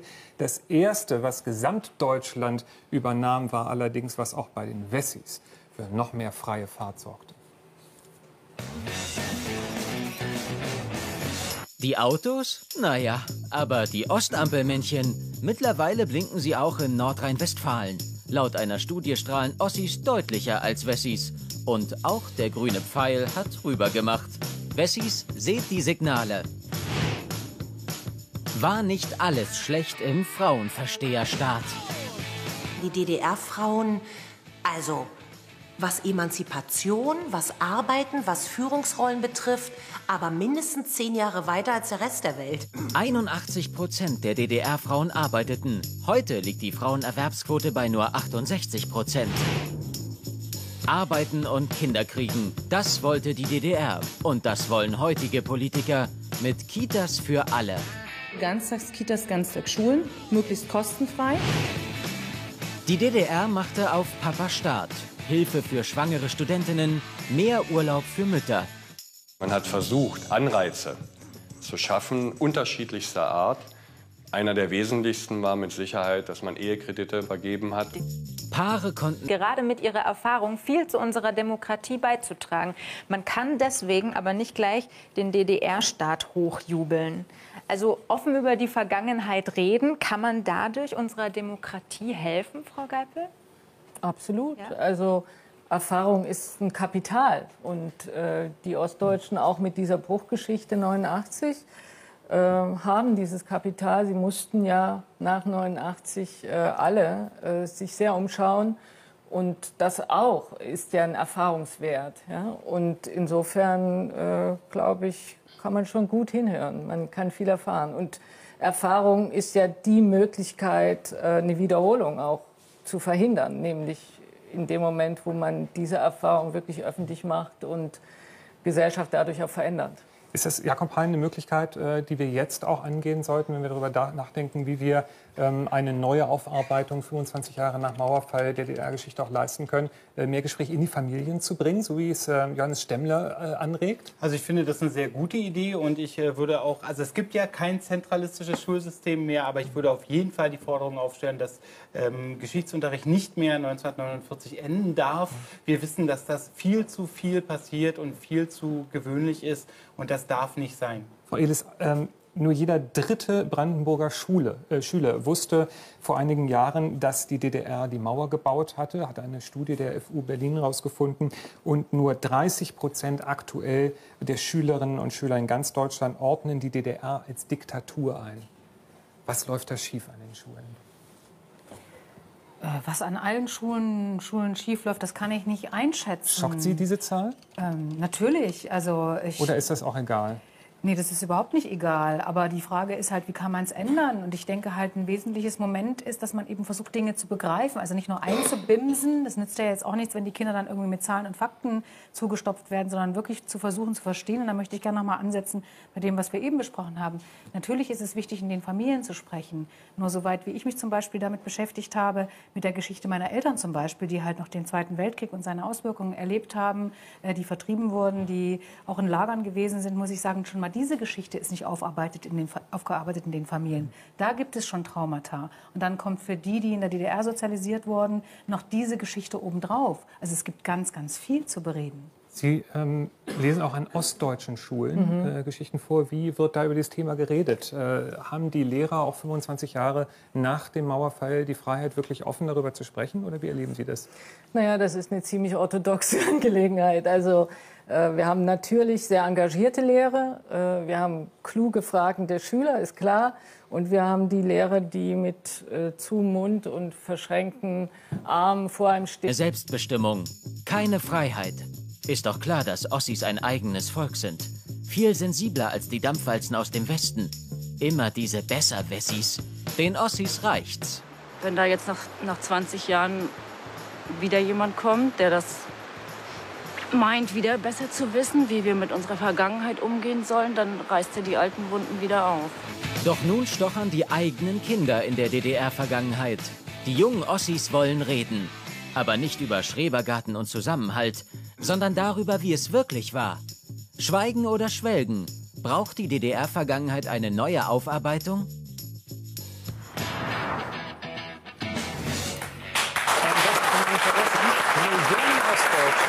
Die DDR gar nicht bewusst erlebt, einfach weil sie zu jung sind. Seit zwei Jahren gibt es die Initiative Dritte Generation für die Jahrgänge 75 bis 85, die noch in der DDR geboren wurden. Die wollen mit ihren Eltern drüber reden und endlich etwas über diese fremde DDR erfahren. Und organisiert hat es Johannes Stemmler. Hier ist er. Herzlich willkommen bei Login. Wieso wollen Sie gerade jetzt über eine neue Aufarbeitung der DDR reden? Warum gerade jetzt, weiß ich nicht so richtig. Wir stolpern ja von Jahrestag zu Jahrestag. Sie kommen im Einjahres-, im Fünfjahrestakt. Und wir haben festgestellt, dass eigentlich immer die ähnlichen Menschen, aber zumindest die ähnlichen Positionen, äh, die Geschichte der DDR verhandeln. Und jetzt könnte man sagen, wir sind so jung, es hat mit uns doch alles nichts mehr zu tun. Aber wir sind eben doch in diesem Land geboren und haben feststellen müssen, dass unsere Eltern relativ wenig von damals erzählen. Und wenn, dann eben den Schrebergarten, den FKK-Urlaub oder die, die Ärgernis an der Mauer. Was war Ihre erste große Frage, die sich eigentlich in diesem Rückblick äh, gestellt hat? An Ihre Eltern? Können Sie sich noch erinnern? Ja, meine Frage ist immer, wie war es für euch? Okay. Konnten Sie mit Ihren Eltern darüber reden? Haben Sie äh, darauf antworten können? Bei uns zu Hause ist es relativ unproblematisch, weil ja. meine Eltern eine Distanz zum System hatten. Und je größer die war, umso einfacher ist es immer. Aber viele der Menschen, die ich kenne, für die ist es sehr schwer, weil die Eltern dann glauben, jetzt kommt die Inquisition des eigenen, durch das eigene Kind. Wie wird das dann gelöst? Äh, ganz lange die dicken Bretter bohren, nicht weggehen und sich wirklich dafür interessieren, was die eigene Geschichte ist und nicht die Schablone der Geschichte, die wir ohnehin alle kennen. Sind das schmerzhafte Geschichten? Also da muss man äh, zu erklären, Sie treffen sich auf Tagungen mit vielen, vielen anderen, reden über diese Themen auch. Das, was Sie dann von denjenigen hören, bei denen es vielleicht nicht so rund läuft. Ähm, sind das schmerzhafte Geschichten? Je politischer ein Leben damals war ja. oder das der Eltern, umso schmerzhafter kann es sein. Aber Schmerz hat ja auch immer was Befreiendes. Mhm. Wenn man einmal im Gespräch ist, wenn man die Eltern oder auch die Großeltern an der Angel hat, mhm. dann ist das für die eine Befreiung, endlich auch mal die äh, hineinerzählt. Und, für, und, und sie sagt natürlich, können Sie mir helfen? Ich, brauch, ich will wissen, was meine Akte ist. Und, den, und so eine Frau kann man nicht sagen, na geh nach Hause und verklär mal ein bisschen. Die will, die will Tacheles, die will ihre Geschichte haben, die will wissen, wer sie ist.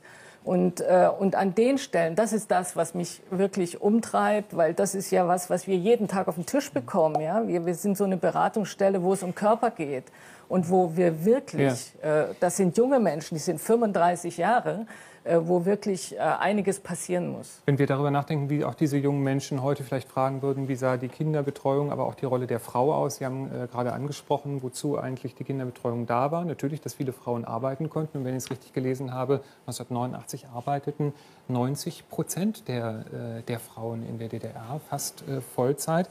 Ähm, was würden Sie den jungen Frauen heute sagen? War das ein emanzipierteres Frauenbild zu dieser Zeit oder ähm, hatte das auch eine andere Seite? Also ich glaube schon, dass es sehr viel emanzipierter war. Und ich muss auch sagen, aus meiner Sozialisation heraus ähm, kann ich mir gar nichts anderes vorstellen, als berufstätig sein zu wollen. Ich kennen das Modell, dass die Frau zu Hause ist und die Kinder versorgt und dem Mann die Hemden rauslegt und den Schlips äh, zum passend sortiert und den Koffer packt oder sowas in der Art, kenne ich nicht so. Als ich damals nach Westdeutschland gegangen bin, Sie hatten es angesprochen, 1988, da habe ich noch sehr oft dieses Modell schon erlebt. Das hat, glaube ich, aber auch ja. nachgelassen. Kiwi hat in dem Film, äh, in der Dokumentation gesagt, äh, die Frauen in der DDR waren dem Rest der Welt äh, zehn Jahre voraus. Ja, ich glaube schon. Nein, Glauben Sie auch? Moment, Moment. Ja? Also die Frauen waren nicht nur berufstätig, sie waren höher gebildet teilweise als der Mann. In den 50er Jahren kam dieser Zuströmung von Frauen an die Hochschulen. An den Hochschulen waren dann so 54 Prozent immer Frauen, an den Fachschulen bis 90 Prozent. Und das wirkte sich natürlich auf das ja. Innere in den Familien aus, und zwar auch mhm. im Sinne einer inneren Demokratisierung. Und diese innere Demokratisierung in den Familien, die trat natürlich im Widerspruch zu dem gesellschaftlichen System. Das 89 wäre nie so verlaufen ohne diese Emanzipation der Frauen. Interessante Hier jemand These. bei uns im Chat ja, erstmal. Ganz kurz mal, äh, Frau Geipel, darauf nochmal. Ja. Würde ich ja auch ein bisschen mehr differenzieren. Ich bin ja auch im Westen angelandet nach der Flucht und habe auch zu knacken gehabt äh, an was an traditionellen Bild, Frauenbild, ja, mhm. äh, Frauenbild einem mhm. begegnet ist. Und ich glaube, da ist in den letzten 25 Jahren einiges passiert, Emanzipation ist in meinen Augen noch mal was anderes. Also diese Geschichte einfach immer nur zu leisten, ja, zu arbeiten, zu arbeiten, Familie, Beruf und immer, also diese Frage des Recht auf einen individuellen, einen eigenen Raum. Warum ist es so gewesen, dass die ostdeutschen Frauen nach 89 sich massenhaft ja, an Manager, an Leute, also an Männer im Westen orientiert haben und sie geheiratet haben. Ist weil, das so? Ja, ja, die Zahlen, doch. Die ich bin dafür, dass man das nicht also Ost gegen West ausspielt. Das bringt überhaupt nichts. Wenn man darum geht es ja nicht, sondern wir versuchen ja zu gucken, ähm, wie die Emanzipation der Frauen in der Zeit war. Und da haben äh, wir doch, glaube ich, eine unterschiedliche Ansicht hier äh, am Tisch, eine Im unterschiedliche Übrigen. Vorstellung davon, was emanzipiert heißt. Wie hätten Sie es bewertet, äh, Hein? also mein Eindruck ist eindeutig, dass durch die Wiedervereinigung äh, ein ganz neuer Blickwinkel auf die Rolle der Frau in das neue Deutschland reingekommen ist und dass das durchaus sehr viele positive Konsequenzen hat. Ich glaube, wir wären heute nicht so weit mit der Gleichberechtigung ohne, ohne die DDR. Ich würde gerne mal ergänzen ja. wollen, dass ich mich übrigens nie emanzipiert gefühlt habe. Und als ich dann in Westdeutschland war, hatte ich auch mit dieser ganzen Emanzipations- und Feminismusbewegung, habe ich eher gefremdet. Ja. Das war einfach selbstverständlich. Ja, das war nicht, die war nicht feministisch. Ja. Ganz eindeutig. Ich würde ganz gerne vorschlagen, dass wir gleich über ähm, ein weiteres Thema sprechen, nämlich darüber, ähm, wie Millionen junge Ostdeutsche, fast in dem Alter wie Jakob Hein, eigentlich ähm, die DDR nur noch ein bisschen kennengelernt haben, mit ihren Eltern darüber sprechen und genau diese Dinge auch zu Hause vielleicht diskutieren oder nicht. Das vertiefen wir gleich. Vorher noch ganz viele Fragen von Ihnen zu Hause, die wir natürlich beantworten wollen. Genau, das machen wir gleich jetzt bei Login direkt. Das ist unsere Schnellfragerunde hier bei Login. Da sei Ihnen noch gesagt, dass Sie immer noch abstimmen können. Es läuft immer noch unser Vote auf login.zdf.de. Da können Sie abstimmen für Frau Geipel oder für Herrn Starke, die ich jetzt zu mir hierher bitte. Denn wir starten jetzt mit 2 Minuten 30, Login direkt. Da hat Herr Starke recht, dann nimmt er sich gleich sein Wasserglas mit, wenn es da viel zu reden gibt. Kurze, kurze Antworten wären super. Sie können ruhig ein bisschen näher kommen, dann können Sie nämlich mitlesen. Und bereit? Ja. Dann sage ich 2 Minuten 30, Login direkt laufen jetzt. Erste Frage von Tom Tom Tom an Herrn Starke. Haben Sie sich nie eingesperrt gefühlt? Doch, habe ich. Aber ich habe gedacht, es wird besser. Nächste Frage von Rami an Frau Geipel. Mich würde interessieren, wie es Ihnen gelungen ist zu fliehen. Über die grüne Grenze zwischen Ungarn und Österreich. Nächste Frage an Sie beide von Cicero 2.0. Haben Sie, falls vorhanden, Ihre Stasi-Akten gelesen? Und wenn ja, wie fühlt man sich in so einem Moment? Nein, die habe ich nicht gelesen. Das sind Dinge, die gegen meinen Willen angelegt worden sind. Und das damit will ich nichts zu tun haben. Ich habe meine Akte gelesen, also die Akte über mich, die OPK-Akte. Äh, es ist mir mehrere Wochen danach sehr schlecht gegangen, weil ich äh, ein, etwas erfahren habe, was mir sehr zugesetzt hat.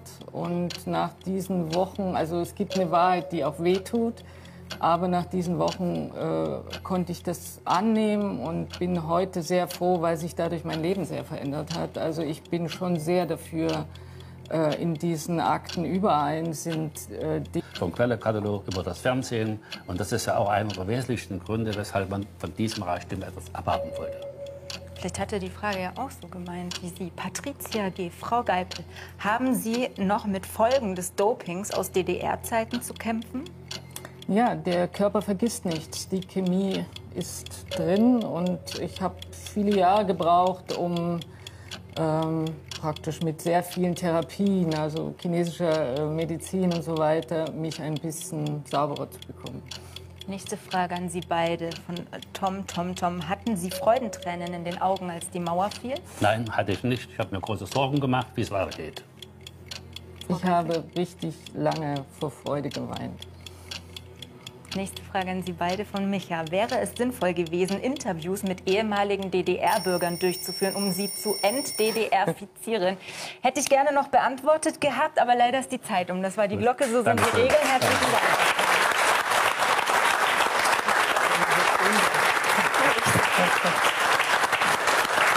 Die Reaktion auf äh die Reaktionen auf die Dokumentation im ZDF äh, und Umfragen zeigen, ähm, Ost und West sind sich nicht unbedingt einig darüber, wie die Ostdeutschen in der DDR eigentlich lebten. Schon seltsam, wie sich auch 2014 einige Wessis die DDR und seine Bewohner vorstellen.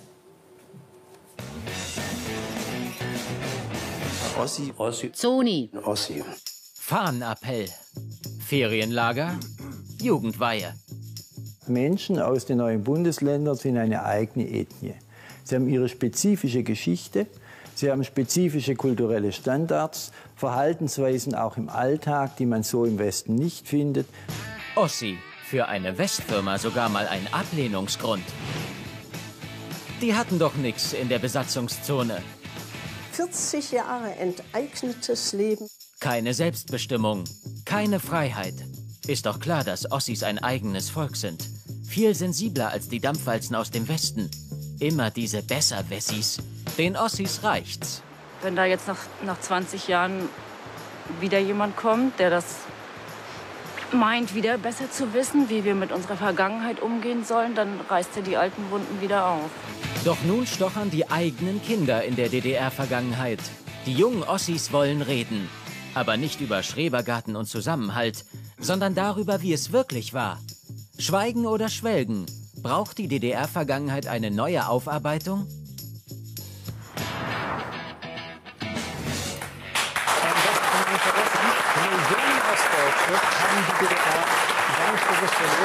Weil sie zu jung sind. Seit zwei Jahren gibt es die Initiative Dritte Generation für die Jahrgänge 75 bis 85.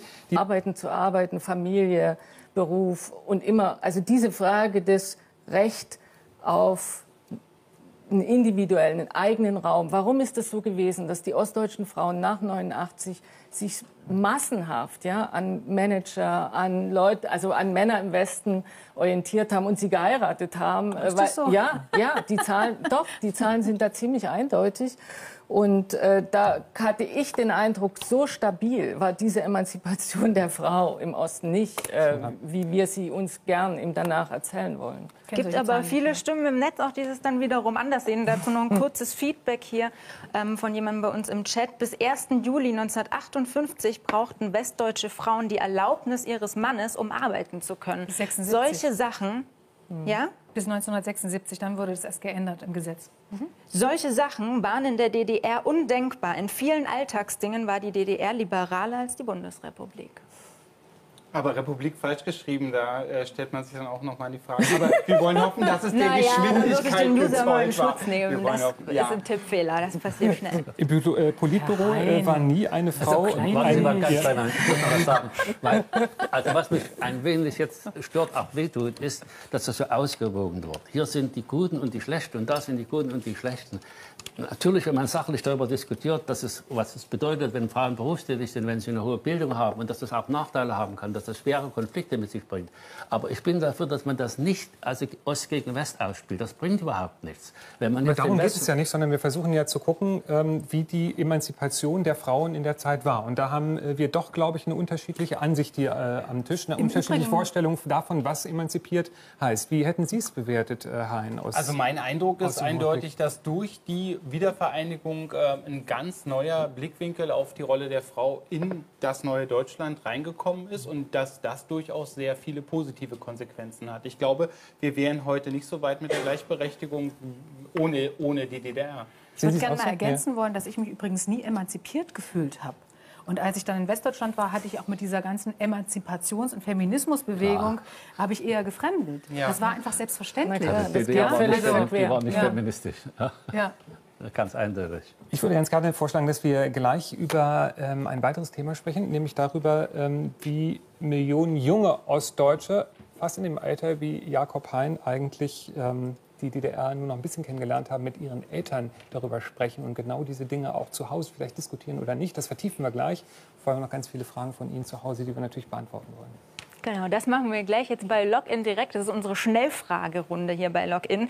Da sei Ihnen noch gesagt, dass Sie immer noch abstimmen können. Es läuft immer noch unser Vote auf login.zdf.de. Da können Sie abstimmen für Frau Geipel oder für Herrn Starke, die nicht rehabilitiert worden sind im Wesentlichen. Wenn Sie sich die Diskussion gemeinsam anschauen um das Verbot der, der äh, Symbole, ist es so, dass ähm, die Opfer in dieser Diskussion eher außen stehen und nicht in der Mitte der Diskussion stehen? Wie ist Ihre Wahrnehmung? Na, sie sind vor allen Dingen über die Jahre hin verstummt. Also ich habe jetzt Studien gelesen, Schüler wollten äh, in Thüringen äh, mit Opfern sprechen, die in Gefängnissen gesessen haben und die Opfer sagen, es macht doch gar keinen Sinn mehr zu sprechen öffentlich. Und Warum macht find- das keinen Sinn mehr? Warum sagen weil Sie das? nicht gehört werden, weil sie außen vor stehen, weil, äh, Ja, weil Sie vielleicht auch keine- sehen, dass die Täter von einst Absolut. inzwischen wieder gut Absolut. etabliert sind, äh, super wohlhabend oder gut verdienen. Und die Opfer sind meistens psychisch gebrochen, haben nicht wieder den Tritt ins Leben gefunden und sind irgendwo in ziemlich armseligen Lebensbedingungen. Herr Starke, was macht das mit unserer Erinnerungskultur, wenn wir darüber nachdenken, wie kann man über die DDR-Vergangenheit reden, wenn Opfer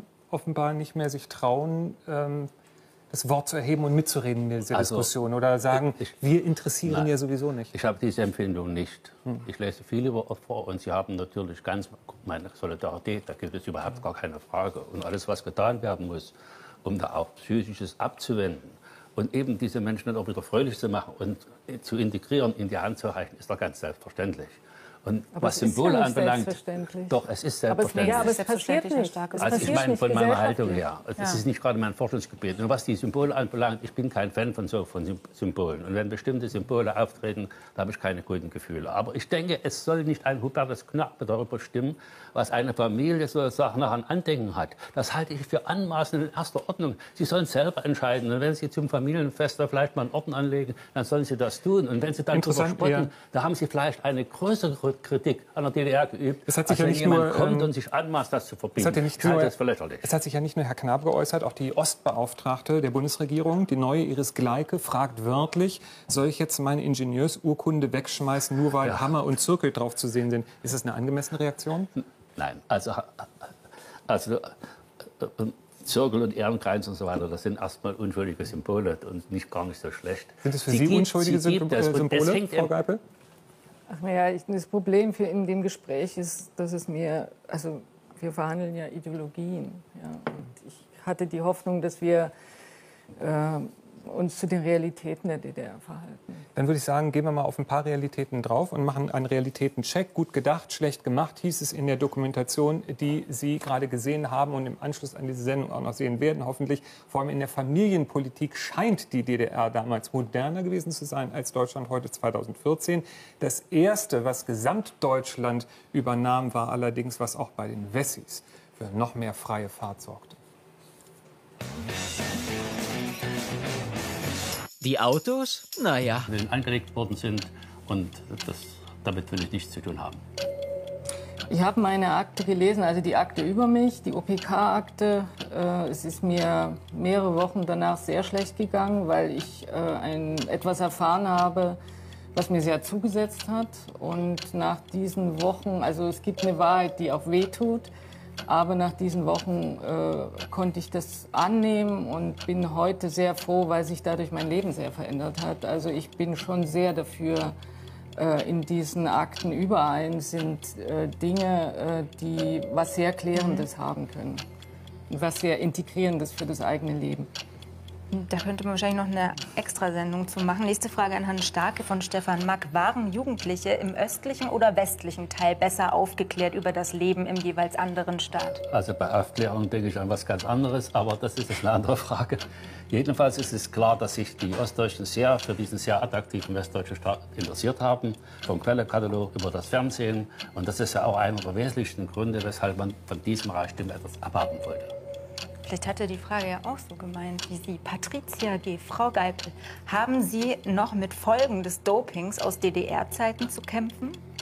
Ja, der Körper vergisst nichts. Die Chemie ist drin und ich habe viele Jahre gebraucht, um ähm, praktisch mit sehr vielen Therapien, also chinesischer äh, Medizin und so weiter, mich ein bisschen sauberer zu bekommen. Nächste Frage an Sie beide von äh, Tom, Tom, Tom. Hatten Sie Freudentränen in den Augen, als die Mauer fiel? Nein, hatte ich nicht. Ich habe mir große Sorgen gemacht, wie es weitergeht. Ich habe richtig lange vor Freude geweint. Nächste Frage an Sie beide von Micha. Wäre es sinnvoll gewesen, Interviews mit ehemaligen DDR-Bürgern durchzuführen, um sie zu ent-DDR-fizieren? Hätte ich gerne noch beantwortet gehabt, aber leider ist die Zeit um. Das war die Glocke, so sind die Dankeschön. Regeln. Herzlichen Dank.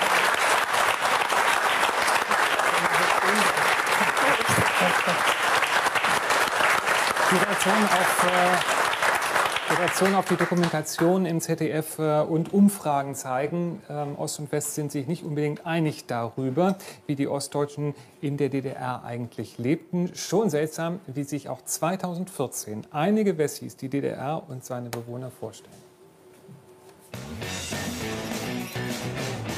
Ossi, Ossi, Zoni. Ossi. Fahnenappell. Ferienlager. Jugendweihe. Menschen aus den neuen Bundesländern sind eine eigene Ethnie. Sie haben ihre spezifische Geschichte, sie haben spezifische kulturelle Standards, Verhaltensweisen auch im Alltag, die man so im Westen nicht findet. Ossi. Für eine Westfirma sogar mal ein Ablehnungsgrund.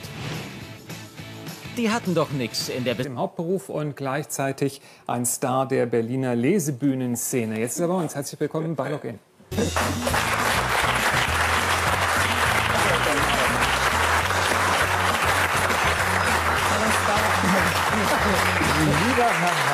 Was Ich bin ein Star, das wüsste ich aber. Ja, Ja, gut, natürlich. aber machen Sie mal. Wir mussten Sie jetzt ein bisschen pimpen. Bei allem, was Sie, Sie, gerade, Sie wollten mich rausholen. bei allem, was Sie in der Matz gerade gesehen haben, gute Erinnerungen an das Land Ihrer Eltern? Mm, Es gibt gute Erinnerungen, aber viele der Dinge, über die jetzt gerade gesprochen wurde, also gerade das Bildungssystem, habe ich jetzt nicht nur gute Erinnerungen. Trauern die Leute da einer Illusion, einer Utopie hinterher? Na, ich glaube, ich glaube, also mir ist das alles zu retrograd. Ich glaube, was, was, was mich viel mehr interessiert ist, was bedeutet das alles für heute? Das ist so äh, für mich ein Thema. Was bedeutet zum Beispiel die Gleichberechtigung der Frau in der DDR für uns heute? Und ähm, ich glaube, wenn wir immer zurückgehen, dann hat eben jeder seine Erinnerung und die verfärbt das, was da war. Und äh, wir, wir reden viel zu wenig darüber, was, was eigentlich heute damit los ist und was das für uns bedeutet. Welche dieser Errungenschaften, die Sie gerade im Film gesehen haben, könnten Sie sich denn heute in der Bundesrepublik vorstellen? Na, dass jede Frau, die arbeiten will, auch arbeiten kann. Also da, da wäre ich ja erstmal sofort dafür. Und dass jeder, der möchte, sein Kind auch in eine Kindereinrichtung geben kann, das äh, halte ich auch für sinnvoll. Wobei ich keinem wünsche, dass er sein Kind in die DDR-Kindereinrichtung gibt, weil die waren nicht alle gut. Dann steigen wir mal ins Detail ein, Sandra. Ja, und zwar nehmen wir uns erstmal das Bildungssystem, das Schulsystem her. Da sagen, nämlich die meisten bei uns im Netz, die meisten User, Mensch, das war doch aber gut, da könnten wir uns doch mal von der DDR was abgucken. Hier jemand bei uns im Chat, das DDR-Schulsystem wird in leicht modernisierter Form von genau den Ländern angewandt, die heute in der PISA-Studie führen, während sich Deutschland mit seinem zerspalteten Schulsystem mit Mühe und Not im Mittelfeld hält. Dazu gibt es natürlich auch wieder eine andere Meinung von Kai Christian Thomsen. Die DDR hat von den Nazis gelernt und deren Bildungssystem perfektioniert. Weg von den Eltern, die Kinder dem völligen Zugriff des Staates unterstellen. Für einen demokratischen Rechtsstaat, der das Grundgesetz und dessen Artikel 6 ernst nimmt, gibt es da nichts zu lernen. Also Einheitsschulen wie in der DDR, machen die auch Einheitsmenschen oder können wir uns da was abschauen, Frau Geipel? Entschuldigung. Ja, also äh, wir sind ja durch diese Schulen gelaufen und äh, ein starkes Verzweckungsmoment hatten und natürlich auch den Charakter der Ideologie. Das war schon sehr stark und das finde ich schon ganz gut, dass wir ein föderales Schulsystem heute haben. Natürlich äh, müssen die Schüler da durch, äh, aber diese Vielheit und dieses Entideologisierte, das, äh, da bin ich schon sehr dafür. Haben Sie es auch so erlebt? Na, ich glaube, es ist ja auch eine Frage, welchen Freiheitsbegriff man hat. Also wir haben gerade gehört, dass eben nur, sagen wir mal, fünf bis zehn Prozent der Schüler und Sicherheiten, die die Angst auch genommen haben. Und die haben, ich will Ihnen ein ganz einfaches Beispiel Aber- sagen. Wenn wir, wenn wir Jugendliche gefragt haben, was bemängeln Sie an der DDR, was hassen Sie? Und die Jugendlichen damals waren sehr kritisch gegenüber der DDR eingestellt. Und was bedeutet ihnen die DDR positiv? Da wurden auch solche Dinge wie diese Sicherheit im Alltag genannt, trotz aller Probleme. Und an der Spitze stand im Übrigen die Friedenspolitik. Die Menschen haben in der DDR Ja. in einem Land gelebt, in dem kein Krieg geführt wurde. Elis, Und das ist ein hoher Wert. Ja, ich möchte noch mal auf den Punkt kommen, der auch in der Frage angesprochen worden ist. Jetzt denken Sie, das äh, war ein bisschen Agitation, stimmt's? Ja. Naja, es entspricht auch nicht ganz meinem Lebensgefühl, das muss ich schon mal sagen. Ich verstehe, was Sie mit Sicherheit sagen, ich verstehe, was Sie mit bezahlbarem Wohnraum Ja. meinen und so weiter. Aber äh, da ich mich zum Beispiel nicht nur für Zement und Baumarkt interessiert habe, äh, war es mir dann doch teilweise ein bisschen zu eng. Ach, Und vor allen Dingen fand ich wirklich furchtbar diese Wilke. Man wusste nicht, man konnte für ein falsches Wort in den Knast gehen. Es konnte aber auch sein, man sagt das falsche Wort und es passiert nichts. Ja, Sie ich haben- Sie vor allen Dingen, vor allen Ma- Dingen, was wie die hinzufügen. Zeit Ich durfte nicht veröffentlichen, ich durfte totgestellt nicht wurde, ja, Ausland Denken Sie, das hat mir gefallen? Herr um- ich möchte gerne äh, Frau Elis noch mal ähm, fragen. Sie durften kein Abitur machen in der DDR. Ja. Was war der Grund dafür? Also zu, zunächst hat das was damit zu tun gehabt, dass in diesem Klassenverbund von ungefähr 30, 35 Schülern immer nur zwei oder drei Abitur machen Hm. konnten. Also es ging nicht nach den Leistungen. Ich habe meine 10. Klasse mit Auszeichnung abgeschlossen, von daher hätte es gereicht, sondern es ging um eine gewisse Minderheit. Und das waren dann halt die Leute, die gesagt haben, sie wären Offizier oder wo die Parteikarriere schon mehr oder weniger sicher war. Hm. Meine Eltern waren religiös, meine Mutter war selbstständig, die hatte einen Milch- und Käseladen, das passte nicht ins System. Und da hat man mir gesagt, du kommst nicht auf die erweiterte Oberschule. Wie haben Sie denn darauf machen. reagiert?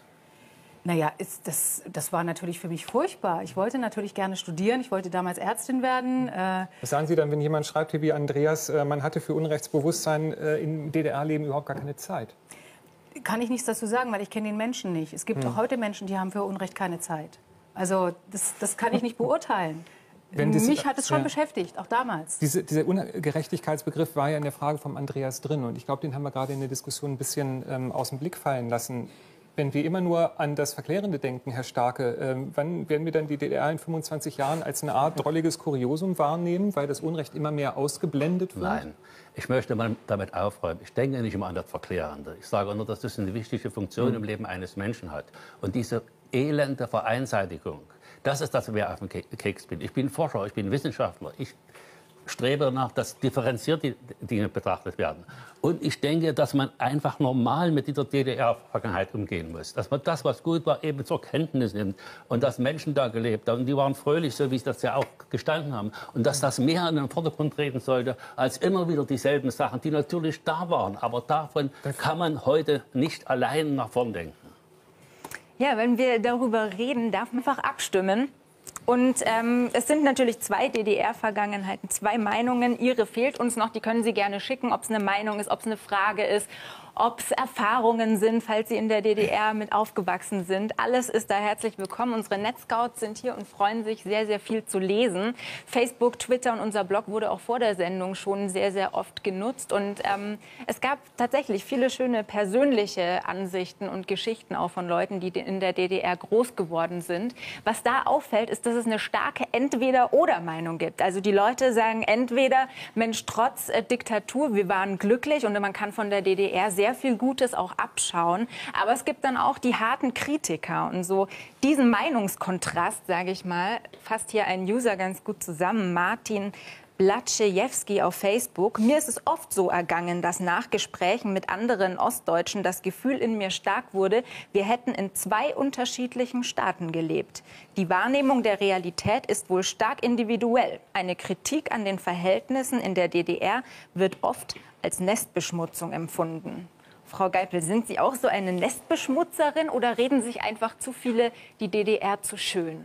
Naja, Wahrnehmung der Realität äh, heißt mhm. es im mhm. Blog und Wahrnehmung der Realität heißt wirklich äh, millionenfache Opfer. Über, wir sprechen von 40 Jahren DDR.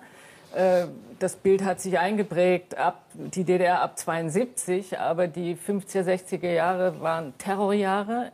Äh, und wir reden alleine, wenn es um politische Haft geht, äh, von 500.000 Häftlingen und natürlich von betroffenen Kindern, Eltern, Mann, Frau. Also wir haben sehr viele, die im Land unterwegs sind und die wir, von denen wir wenig hören, viel zu wenig hören. Starke, die Frau ähm, Geibel spricht von äh, Terroropfern. Roland Jahn, den wir im Film gesehen haben, jetzt gerade auch noch mal bei uns im Beitrag sagte, wir haben ein schönes Leben gehabt, nicht wegen, sondern trotz der DDR. Ist es dann äh, in Ordnung, sich eher und vor allem nur an die schönen Dinge zu erinnern, wenn man eigentlich das ja auch mit im Hinterkopf haben müsste? Natürlich nicht. Auch was es an Verbrechen gegeben hat, ist doch klar. Das ist immer auch eine Mahnung, so, dass sich so etwas nicht wiederholt.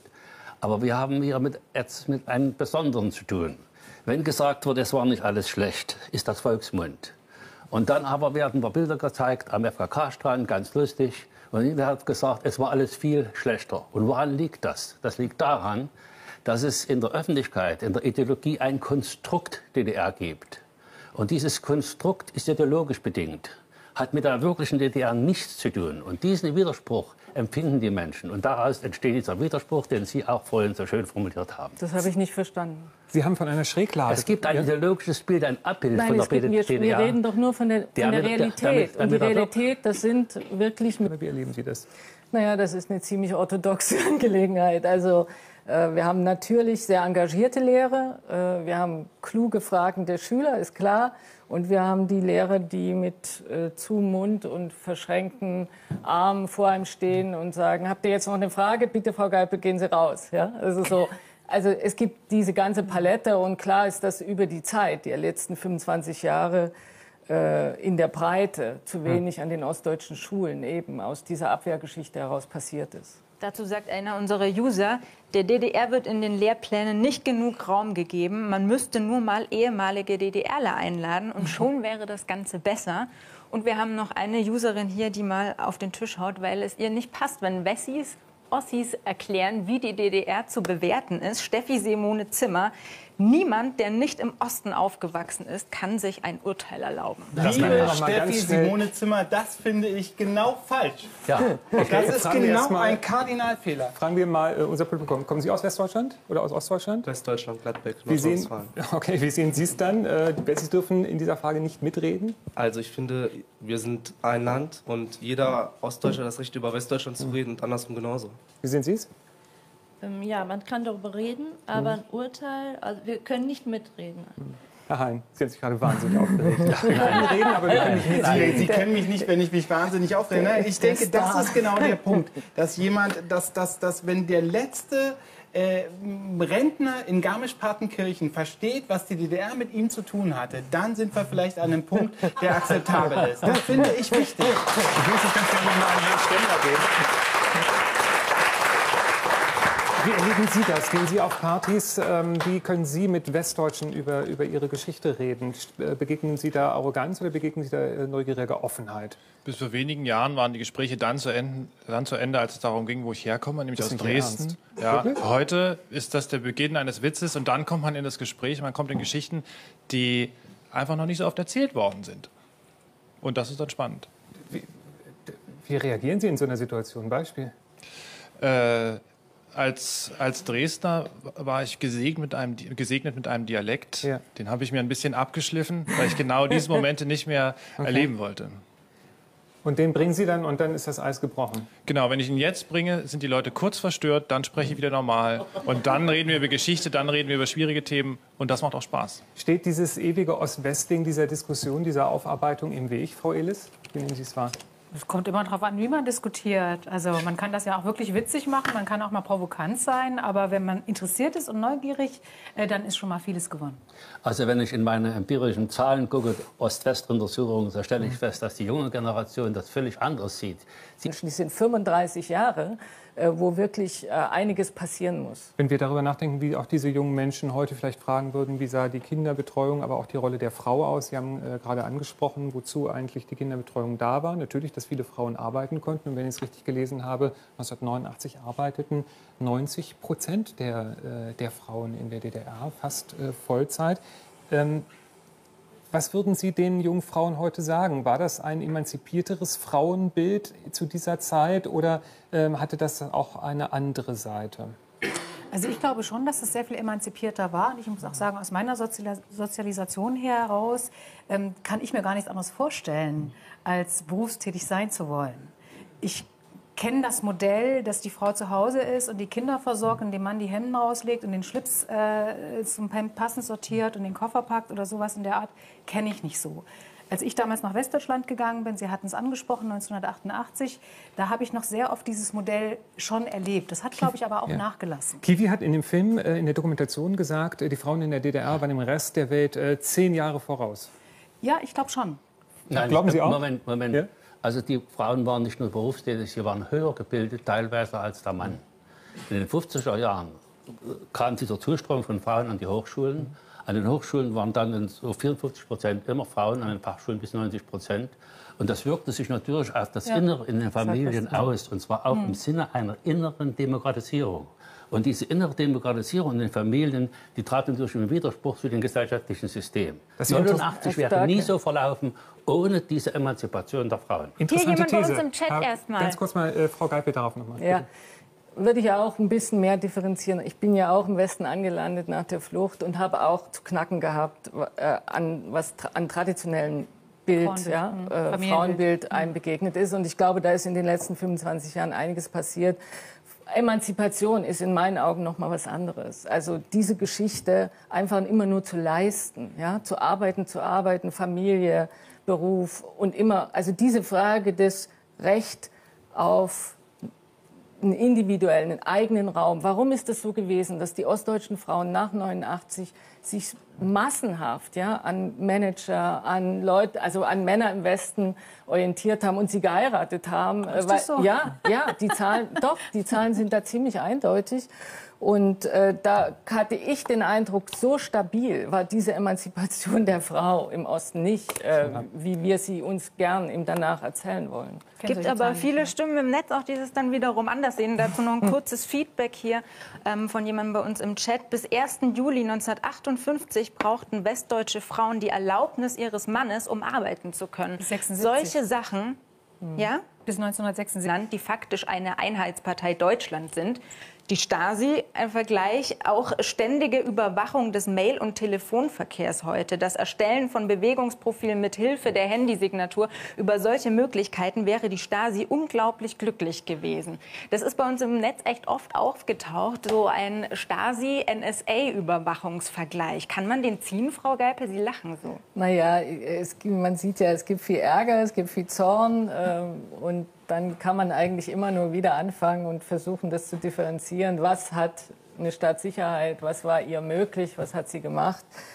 Und äh, was haben wir heute an Problemen, die wir gemeinsam natürlich, äh, also das kann man nicht hinnehmen, diese NSE-Geschichte, das ist klar. Aber Trägt äh, dieser Frust über die Verhältnisse heute, über solche Sachen, aber auch über ähm, Arbeitslosigkeit, vor allen Dingen auch in den neuen Bundesländern, Löhne, die immer noch geringer sind als in den alten Bundesländern, trägt der zur Verklärung dann auch bei, dass man sagt, so Ja, natürlich spielt es auch eine gewisse Rolle. gesagt, früher war dass es wenn also sicherer, Unterschiede, die bestehen, es gibt ja viele Unterschiede, die sind sehr liebenswert.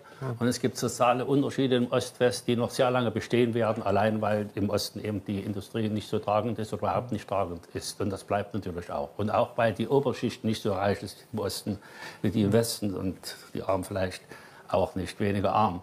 Aber trotzdem ist das so, dass diese junge Generation jetzt vor eine Aufgabe gestellt ist, nämlich an diesem nicht so sehr Ost-West-Verhältnis, sondern an ihrem eigenen Leben zu zimmern. Und da, wenn sie dann darüber nachdenken und sagen, ich lasse mich doch nicht ständig mit irgendwelchen Geschichten aus der Vergangenheit zuschütten, wo ich doch heute sehr viele Probleme habe. Die Geschichten aus der Vergangenheit, die müssen dazu beitragen, dass man das heute kritischer sieht.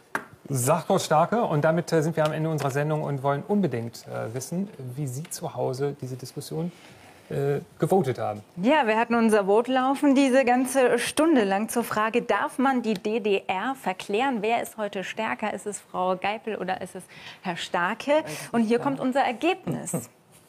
Darf man die DDR verklären? Ja, sagt Herr Starke und nein, sagt Frau Geipel. Und ihr geht heute Abend zu 56 Prozent mit Herrn Starke. Aber das ist ein knappes Ergebnis. an dieser Stelle, dass Sie so ein sind. Jetzt haben wir nichts mehr zu tun zu verdienen in der Runde. Deshalb eine ganz kurze Schlussfrage mit der Bitte um eine kurze Antwort, denn die Uhr tickt, äh, angelehnt an eine Kurzgeschichte von Jakob Hein. Angenommen, Sie könnten in eine DDR-Zeitmaschine steigen und nochmal zurückreisen. Was würden Sie dort machen?